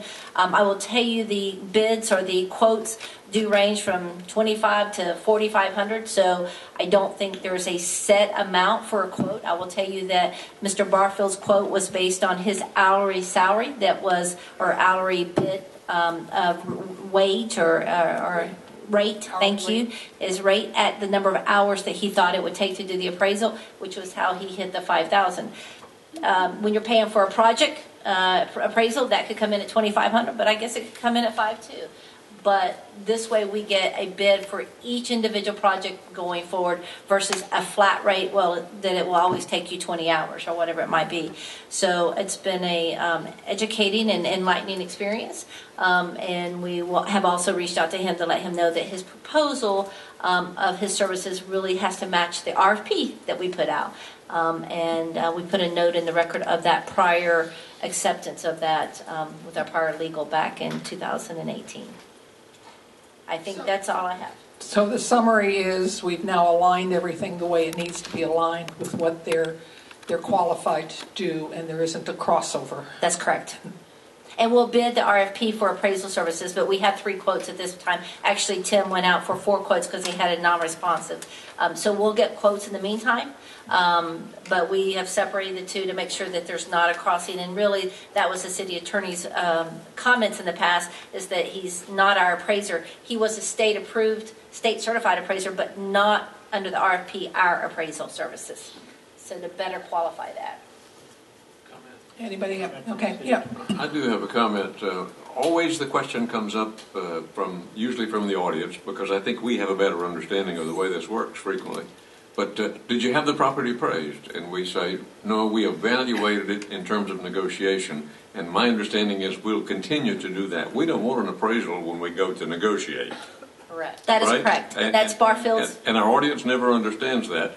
But as long as we say, we've had a property evaluation, we've begun negotiations, this is the price that we have proposed and they have tentatively accepted, and now we'll get the appraisal, and if the appraisal doesn't come in at our negotiated price, we walk. That's correct. We have the option to walk. Yes. Okay, as long as everybody understands that's the way it works. That is We'll- correct. We'll probably have to re-educate the public every time we do it, but, but I- I'm glad now we have a separate and true process. And a a couple of other uh, additional things have come out of this process. We, we know also now that it's probably a better practice for us to increase our due diligence time period. Um, We don't want to strap ourselves. We want to give ourselves the time that we need. Um, So we are going to make sure that we do that moving forward. And this is also, I know I'm, I'm preaching to the choir a little bit, but this is also why I do not like to attach every document to a, just a little four-page agreement and then attach every document that the responder gives to us.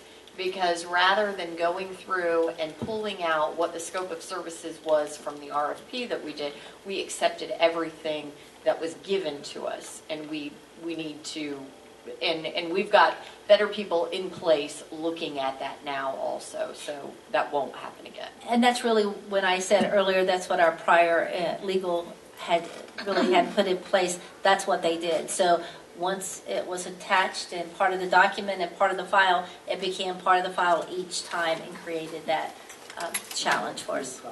Yes, sir. And as a part of that, and based on your comments, uh, Ms. Upton, uh, if you would like a motion, I'd like to do that. Uh, We all are involved in the Christmas season. We know how time has caught up with uh, our short suspense. Uh, I'd like to um, move that we adopt the philosophy that you have in extending our due diligence deadline to 23 December. Thank you. Second the motion. Okay, any discussion? I- I Was I on the record with the second? Okay. Um, Well, I- I'm glad it was brought up, Mhm. and and I think this is a a- a really good um, fix, I guess would be the way to say it, and and I, you know, so. Very good. Good learning experience. All in favor? Aye. Anyone opposed? Okay. um, Any other business? Then we'll go into reports, because we do have to do a C- a a Northeast CRA also next. Okay, Ms. Burnett? Thank you. Oh, you can hear me. Yeah. So I, my comment is that we do need to do something about the turning lanes at Donnelly and 441. So there, so we need to do something about the painting of those lanes at the very, so there, do you know what I'm talking about? I do, and that is a county road that, that goes No, onto. I a- know, I that goes know, but onto a Donnelly state- isn't, right? Sorry. No, that's a county road, and it goes on to uh, state state road. road. So Donnelly up in that area and, and Joe, you and, and Robert can correct me, is Joe still here? But I believe it is a county road up in that area. Is it? I'm sorry, I was in another conversation with you. Donnelly up at 441, is that not a county road? That's, once it hits, for- um. The intersection, it's the a county intersection road? is, is county. It's, oh, Yes. okay. So again, we can reach It's out. staying We can in reach county. the county. It's city and county, right? No, no, it, it. County and County. state. The intersection, uh, the, the right of ways along there are, are, it, it, it's, it's, it, that particular one is county and, and state. State, county and state. We can reach out to the county and ask that they consider it, but I you because the 441 at that intersection going forward will be improved um, in the next few years. They're going to give us a lot of pushback. Again, they do acknowledge it is the uh, the busiest intersection and the most accidents. And we can reach out to But- George. I think is the guy that There are Robert would plans work to, with. to do some expansion in there. Oh, yeah. On, on the, on that road. So the turning lane to go to the right? Yes. It's, it's, the pain is gone. Okay. Basically. We'll reach out. I'll, I'll ask, uh, Chief Bell will reach out to George with the um, um, county and just see what they can do for us. Tim, that's uh, uh, right right in front of McDonald's. Yes. Right, right in front of McDonald's. Yes. It's, it's not good. It's really faded. Okay, and that's all I Can do have. that. Thank you. Okay, Mr. Rolfson. Thank you, Mayor and Council. Um, Just a couple of things, a reminder of the 9 AM Monday, beginning on the 13th, I think it is January, telephone calls uh, to call in for updates on uh, pending legislation. Uh, These are moving targets, and every week they change, so if you have the time and are- and have the interest, uh, just call in. I think uh, Ms. Hayes Will- Willer has sent the number and the code to call in. Uh, Again, this is just a listening thing, but it really helps educate, and there are urgent calls at each time to please contact your local legislators to vote yes or no or whatever. And that really helps. Those legislators listen to people and constituents. Uh, So just for what it's worth, I wanted to remind everybody of that, how important at least the Lake League of Cities and the Florida League of Cities uh, considers that. Uh, Congratulations to Ms. Hayes and Joe G. and her- and the staff for the successful Apopka St. John's Mount Dora interconnect. Those of us that were there, it was a, a good time and, and a, a- a great example of intra, or intercity sharing of issues that will help Mount Dora and will help Apopka and will be a mutual uh, mutual benefit to everybody, and especially the citizens that might need that water connection. So uh, I was pleased to be there as, as well as others. Um, I want to thank each council member, the last, this, last council member this year, uh, for your uh, good listening to my ranting, uh, your good uh, impassioned comments during 2019. Uh, They all have helped me, and uh, uh, I have the deepest respect for each one of your positions, your, your comments, and uh, respect you sharing your views. Uh, So thank you for that.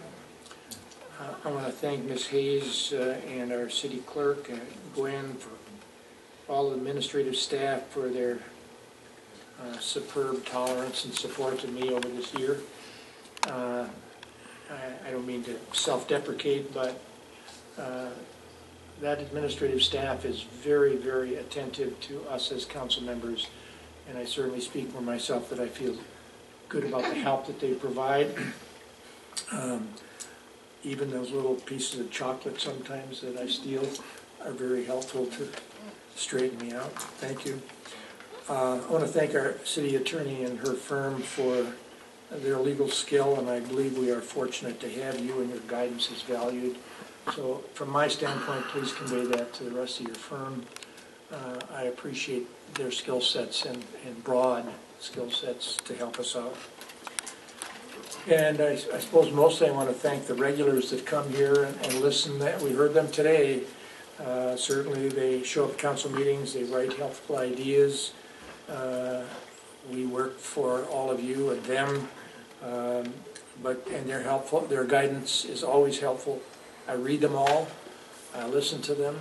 I don't always say yes or no when I, they want me to, but uh, I certainly value that comments, and uh, I thank our mayor for being tolerant of and flexible for those that come here and want to express their view. That's very important, that we do that. Uh, We don't always hear what we want to hear. Maybe tonight was an example, but uh, it's still valuable to do that. Um, I often don't dialogue, and most of the time I seldom dialogue with emails and comments on the street. I just listen, and I do that for a purpose because when I come to this council meeting, I try to listen to each one of your comments if you make them and give them consideration. I think it's unfair for me to commit to something fully uh, without keeping an open mind because you all help, help me make that decision. So I do uh, solicit your comments, and finally, um, Merry Christmas and Happy New Year and Happy Holidays to everyone here, to all of you, and thank you for the honor of serving in 2019. Thank you. Mr. Ducker? Okay, thank you, uh, Ms. Mayor. Uh, First off, uh, I want to thank everyone on council and the audience that was at the Children's Library dedication a week and a half ago. Uh, It was tremendous. Thank you for the turnout. Uh, Kathy's not here tonight, but kudos to Kathy and her staff for doing all that. That's just tremendous. And again, anytime you have a little one, take them up there, let them go through that li- children's library. Uh, I want to thank the police department for the invitation to go to uh, Shop with a Cop on Saturday. That was interesting. Had a lot of fun. I mean, it's, uh, next year, if you have the time during the holidays, do it. It's, it's, watching the little ones shop is really fun. And you also see them sometimes thinking about their siblings or their parents are buying something. I know one little guy I was with, uh, he'd gone there the day before and with his mom had hidden things. So he knew right where to go to get what he wanted. Which I thought was uh, enterprising young man, yes. And, uh, so, If you have a city council that are, yeah, he might be, have higher aspirations, I think. But, uh, yeah, it was really enjoyable, so I thank you, and I'll be very brief. Just want to thank everyone and hope everyone here and everyone in the audience have a wonderful Christmas season and just a safe and happy 2020 uh, when we see you all again. And I thank you all for putting up with my rantings at times for the past year. Um, So again, everyone in council, I hope you all have a wonderful Christmas and uh, enjoy it with your families. Have a safe New Year. Thank you. I will pass. Mr. Kraft? Um, Merry Christmas. Thank you. Vice Mayor Massey? Uh, I missed the Apopka Mount Dora Interconnect ceremony, but I had another task. I went to breakfast at the Daytona Speedway uh, as a guest of Advent Health. Uh, It was a tough job, but uh, somebody had to go do it. Uh, I do want to bring back news from that. I I established a good personal rapport with the CEO from Advent Health, uh, Waterman, uh, and can tell you that very early in January will be a part of a ribbon cutting uh, for the facility just outside of Country Club. They are, uh, they're uh, looking forward to getting that done. Uh, And as soon as that's done, they're looking at starting the second phase, which is the second level in that building. And it has really turned out nicely. Uh, In closing, I'll say Merry Christmas and Happy New Year to all of you. Happy Hanukkah. I look forward to serving with you all again in the new year. Very good, thank you.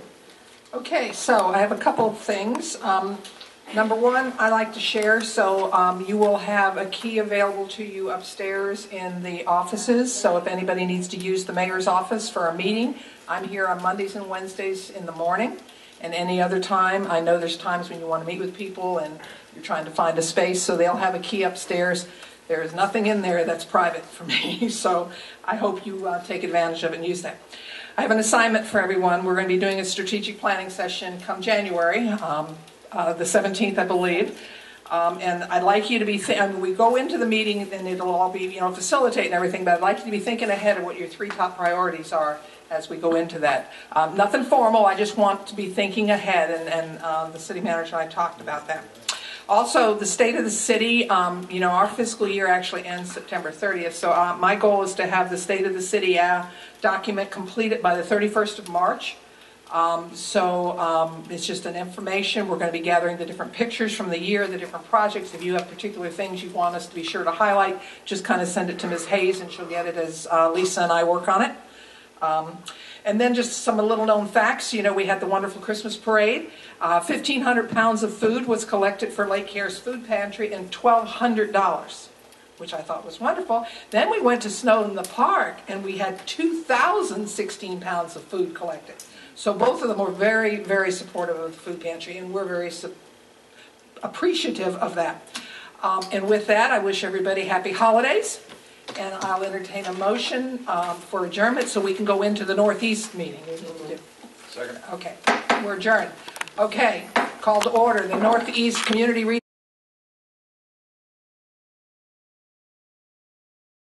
15th. Uh, We have fo- four items for discussion. Uh, First one is resolution number 2019-185, community event and program sponsorship application for the Afro-American History Festival. Ms. Stuffin. Resolution number 2019-185 of the Northeast CRA, a resolution of the Northeast Community Redevelopment Agency of the City of Mount Dora, Florida pertaining to the grant sponsorship program for the 2020 African American History Festival, providing for legislative findings and intent, providing for grant approval, providing authority for the implementation of administrative actions, providing a savings clause, providing for scrivener's errors, providing for conflicts, providing for severability, and providing an effective date. Ms. Hayes. Thank you. Excuse me. Thank you, Mayor, council members. So Adam Sumner, our CRA coordinator for the Northeast, is here to give you a summary of the um, event. Um, Also, please make sure we include the date of the event, Adam, um, and just some, uh, some general information, if you will, please, sir. And I see that Cedric is also here. Um, And Cedric is the um, requester or the applicant in this case, um, requesting the event. Apologize. The one fact I didn't have in my head was the date of the event. February 8th, thank you. Uh, so the event is scheduled for February 8th. Um, this will be the 11th year now? 11th year of the event. Um, and we took this to the uh, Northeast CRA Advisory Committee on um, November 12th, and it received a 7-0 vote in support providing the funding um, per the application amount that's in the package of 15000 um, excuse me, $15,500. Um, we funded this event previously, um, and uh, Cedric's here to answer any of your questions. Keep it short for you this evening. So. It's budgeted on. Yes, ma'am. I move approval of 185. Second. Um, Anybody from the audience have any? Okay. Roll call, please. Mr. Rolfson? Yes. Mr. Tucker? Yes. Mr. Crail? Yes. Ms. Stile? Yes. Ms. Burnett? Yes. Mr. Massey? Yes. Mayor Hoechst? Yes. Resolution number 2019-188, the grant agreement for Habitat for Humanity. Ms. Stubbin? Resolution number 2019-188, Northeast CRA, a resolution of the Northeast Community Redevelopment Agency of the City of Mount Dora, Florida pertaining to the grant for affordable housing with Habitat for Humanity of Lake Sumter, Florida Incorporated, providing for legislative findings and intent, providing for approval of grant agreement and authorization to execute, providing for the implementation of administrative actions, providing a savings clause, providing for scrivener's errors, providing for conflicts, providing for severability, and providing an effective date. Ms. Hayes? Thank you, Mayor, council members. Again, um, Adam Sumner is here, and um, Adam will give you a a brief update on the purpose uh, in spending the $25,000 that's been requested of the city. Um, It is um, for the Habitat for Humanity uh, at uh, 602 East Jackson, and he'll give you a little bit of information for that. Yes, ma'am. Thank you, Ms. Hayes. Um, Habitat for Humanity has owned this property since 2008 when they demoed a previously dilapidated structure that was deemed unsafe and uninhabitable at that point. Um, they're currently working through the process with the Mount Dora resident to be qualified to move into this home. They had a resident qualified, unfortunately, he passed away. So they're working through with his spouse now to get them qualified to move into this home when it's approved. Um, the good news, because there was an existing home, their sewer connection fees won't be as high, so we will not max out the full twenty-five thousand dollar total grant amount. Um, until they submit the final building plans with the total building cost, we don't know the exact number, but that's why we wrote the grant up to twenty-five thousand dollars, which is the way this grant's normally, um, approved. Right. So, um, with that, gladly answer any questions I can. I do apologize on behalf of the Habitat staff. They were double booked this evening. Um, their president and CEO serves on the Umatilla City Council, so he couldn't be here as they had a meeting this evening. He wanted to send his regards. Trustee CRA vote was what? Yes, sir, I apologize, they did. Right. Um, six zero, it was approved on October eighth. I move approval of 188. Second. Okay. My process is I'm so sorry. first. I'm sorry. Then we'll have, My fault. okay, so we'll go ahead now because I'm sure it's not, but I'm trying to break you into a new process. Okay. Um, Any discussion? May I make my motion? No, you already made your motion, Oh, um, I so we'll want, I want sum. to say how delighted I am that uh, Habitat for Humanity is in Mount Dora, Yes, ready and- to turn dirt. I'm Ready to go tickled with again. that. Yes. Anyone in the audience? Okay, back to council roll call. That's all right. Mr. Rolfson? Yes. Mr. Tucker? Yes. Mr. Crail? Yes. Ms. Stile? Yes. Ms. Burnett? Yes. Mr. Massey? Yes. Mayor Hope? Yes. Resolution number 2019-189, Home Security Program. Ms. Stuppen?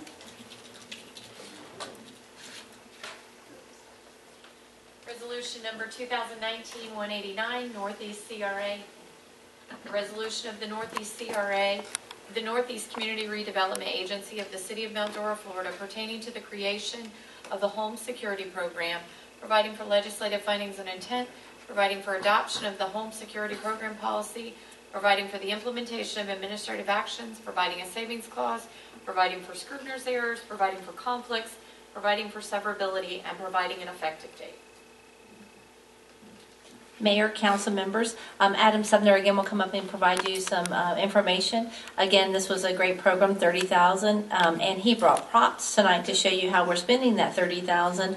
Um, And I'd like for him just to, as part of his uh, presentation, to give you a little bit of the uh, background and the qualification of being able to um, apply for one of these um, um, units, I guess is the best way of looking at Yes, them.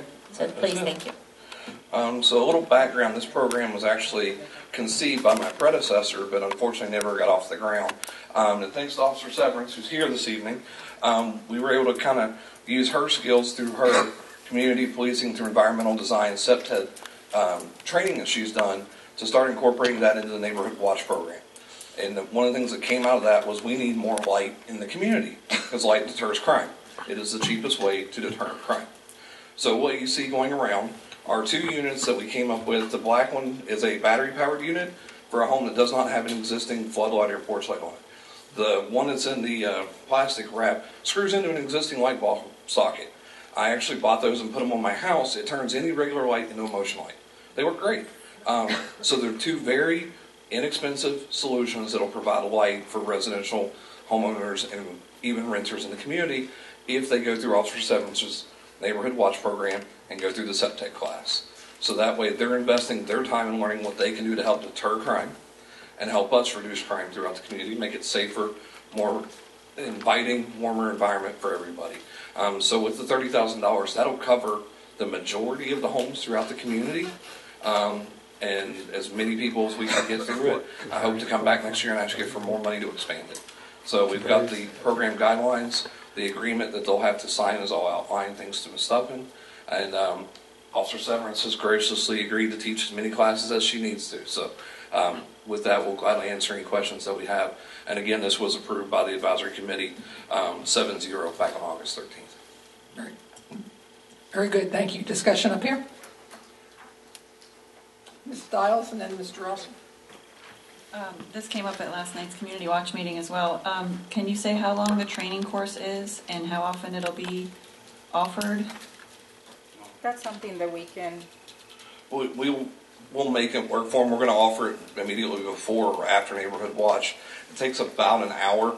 Um, that's what it took for me to learn it all Okay. uh, with her teaching it. So she could probably do it for people faster than that. Great. Um, but it's pretty quick. It's it's a lot of common sense stuff that you don't think about. And she does a great job of explaining it, so. Great, thanks. Mr. Olson? Uh, Only that I, that I fully support this, uh, that- that is really needed there. Uh, Officer Severance, Severance started this several years ago, the small ring, remember you brought the ring program up? And I don't know how successful that was, but this will be uh, perhaps even more successful. And I think the key will be to market it to the community, to make sure those community homeowners know that it's available through a grant program. It's got to be a win-win for everybody. So it's a great, great idea. Thank you. Any other comments from the table? Anybody in the audience wish to speak? Back to council for, um, I move approval. motion, second. All- Um, res, um, roll call. Mr. Rolfson? Yes. Mr. Tucker? Yes. Mr. Crail? Yes. Ms. Stile? Yes. Ms. Burnett? Yes. Mr. Massey? Yes. Mayor Hope? Yes. Resolution number 2019-194, community event and program sponsorship application for the Unite the Block Unity Day. Ms. Stephen. Resolution number 2019-194, Northeast CRA, a resolution of the Northeast Community Redevelopment Agency of the City of Mount Dora, Florida, pertaining to the grant sponsorship program for the 2020 Unity Day event, providing for legislative findings and intent, providing for grant approval, providing for the implementation of administrative actions, providing a savings clause, providing for Scrivener's errors, providing for conflicts, providing for severability, and providing an effective date. Thank you. Ms. Hayes. Thank you, Mayor, council members. Again, uh, Adam Sumner, Northeast CRA, or excuse me, Northeast CRA Coordinator. I always throw the other name first. Um, So um, again, Adam, will you give a, a- just a summary of the program? The funding is approved in the budget, and the date of this, uh, according to the schedule, is January the 18th, and just confirm that date. Yes, ma'am. Uh, The event is scheduled for January 18th. Um, As you remember, February of 2019, we approved the Community Betterment Program in the Northeast CRA for community event sponsorship. Um, We had a couple different ideas of how we thought this would work. Uh, Funding these types of events was definitely part of it. We have $70,000 in our budget for this year to sponsor these types of events. Um, Pastor Rowe is here, who can speak to the event and answer any questions you have. The one thing on this one is we did not take it to Northeast CRA um, because unfortunately Pastor Rowe missed the deadline for that. Um, but because of the date of his event and what it does for the community and knowing the, the um, support the Northeast Area Advisory Committee has had, I wanted to go ahead and bring it to you tonight because this was the only date I could get it on the agenda um, for you to consider it. Um, but unfortunately, our policy does say it's due 60 days out. Unfortunately, he didn't make that deadline, but I wanted to. But at the end of the day, the policy gives council, setting as the Northeast CRA Governing Board, the ability to waive that if you so desire. And, and this was only for $3,000. It is within the budget line item, so um, there's also that waiving of, of ability to, to make that choice. And, and I'm sorry, what time is the event? Jamie. No, I got the date, the time? Oh, uh, we start marching at ten. 10. And then we will keep the festivities in the park at eleven. Okay. I was just going to suggest that Pastor Rowe should earn his money by coming up and making a statement. Pastor Rowe, 1155 uh, North Clayton Street. Um, we started this last year with the uh, partner with Neighborhood Watch. Uh, Officer Ivy was big in helping us get this started, and basically uh, we came up with hashtag Unite the Block, and the premises of it is to unite each block in the Northeast community one block at a time. And I'll read the mission statement and the purpose for you real quick. Um, Unite the Block will forge much common ground in uniting, empowering, and equipping the residents of the Northeast community with tools to create a progressive community and a safer community for their neighbors and themselves. And our purpose is to unite the block is made up of volunteer residents, volunteers and residents that live in and around the Northeast District of the City of Mount Dora, volunteers and residents whom have expressed their concerns for the safety and well-being of other residents and the upkeep of the community. Unite the Block will have a collaborative approach to serving the community and work in tandem with other like mission organizations to deliver services. Services such as Unite the Block, um, Unity Day, litter cleanup, beautification projects, reducing overgrown vegetation and abandoned lots, residential properties, yard maintenance, neighborhood watch, and community town hall meetings when necessary. We will implement these programs and services free of charge to residents in the Northeast community Our goal is to change the community from within by urging the residents to become accountable and taking action by doing their part to better the community. So that is what we do. Thank you. Very good. Okay. Any Okay, questions? No. Okay. any discussion here? Anyone in the audience? Okay, I'll entertain a motion. I move we approve, uh, we waive the time period and approve uh, 194, please. Second. Okay, roll call, please. Mr. Rolfson? Yes. Mr. Tucker? Yes. Mr. Crail? Yes. Ms. Stile? Yes. Ms. Burnett? Yes? Mr. Massey? Yes. Mayor Hope? Yes. Okay, other business, I know we have the, we have the Northeast Community Christmas Party this Saturday. Yes, ma'am. Um, Set up at 8 o'clock for anyone who wants to come help. We start at 9, if I'm, am I correct? the- It starts at 10, from 10 10. to 12. Okay, I was an hour early. Um, But So. setup is 8-ish. 8 o'clock, takes a little bit to set up, and 10 o'clock we'll start, and we'll be over by noon. Um, So if anybody wants to have, it's fun, you get to see the kid, the kids get very excited. Anyway, so that is this weekend. Um, Anything else, uh, any other business for the Northeast? Move we adjourn. Wait, Oh, I'm sorry. No, I was just going to remark to the dates, so we'll be closed at City Yes, Hall. go ahead. Um, So we'll be closed on December 24th and 25th. We will close at 2 o'clock on the 31st, and we're closed on the 1st. So you'll see the so- notices posted at City Hall. Um, Send your emails, but we also have a lot of folks taking time off, but you'll receive their out of office, and we'll be glad to respond accordingly as soon as Sounds we're back from the holidays. I'll entertain a motion for adjournment. Okay.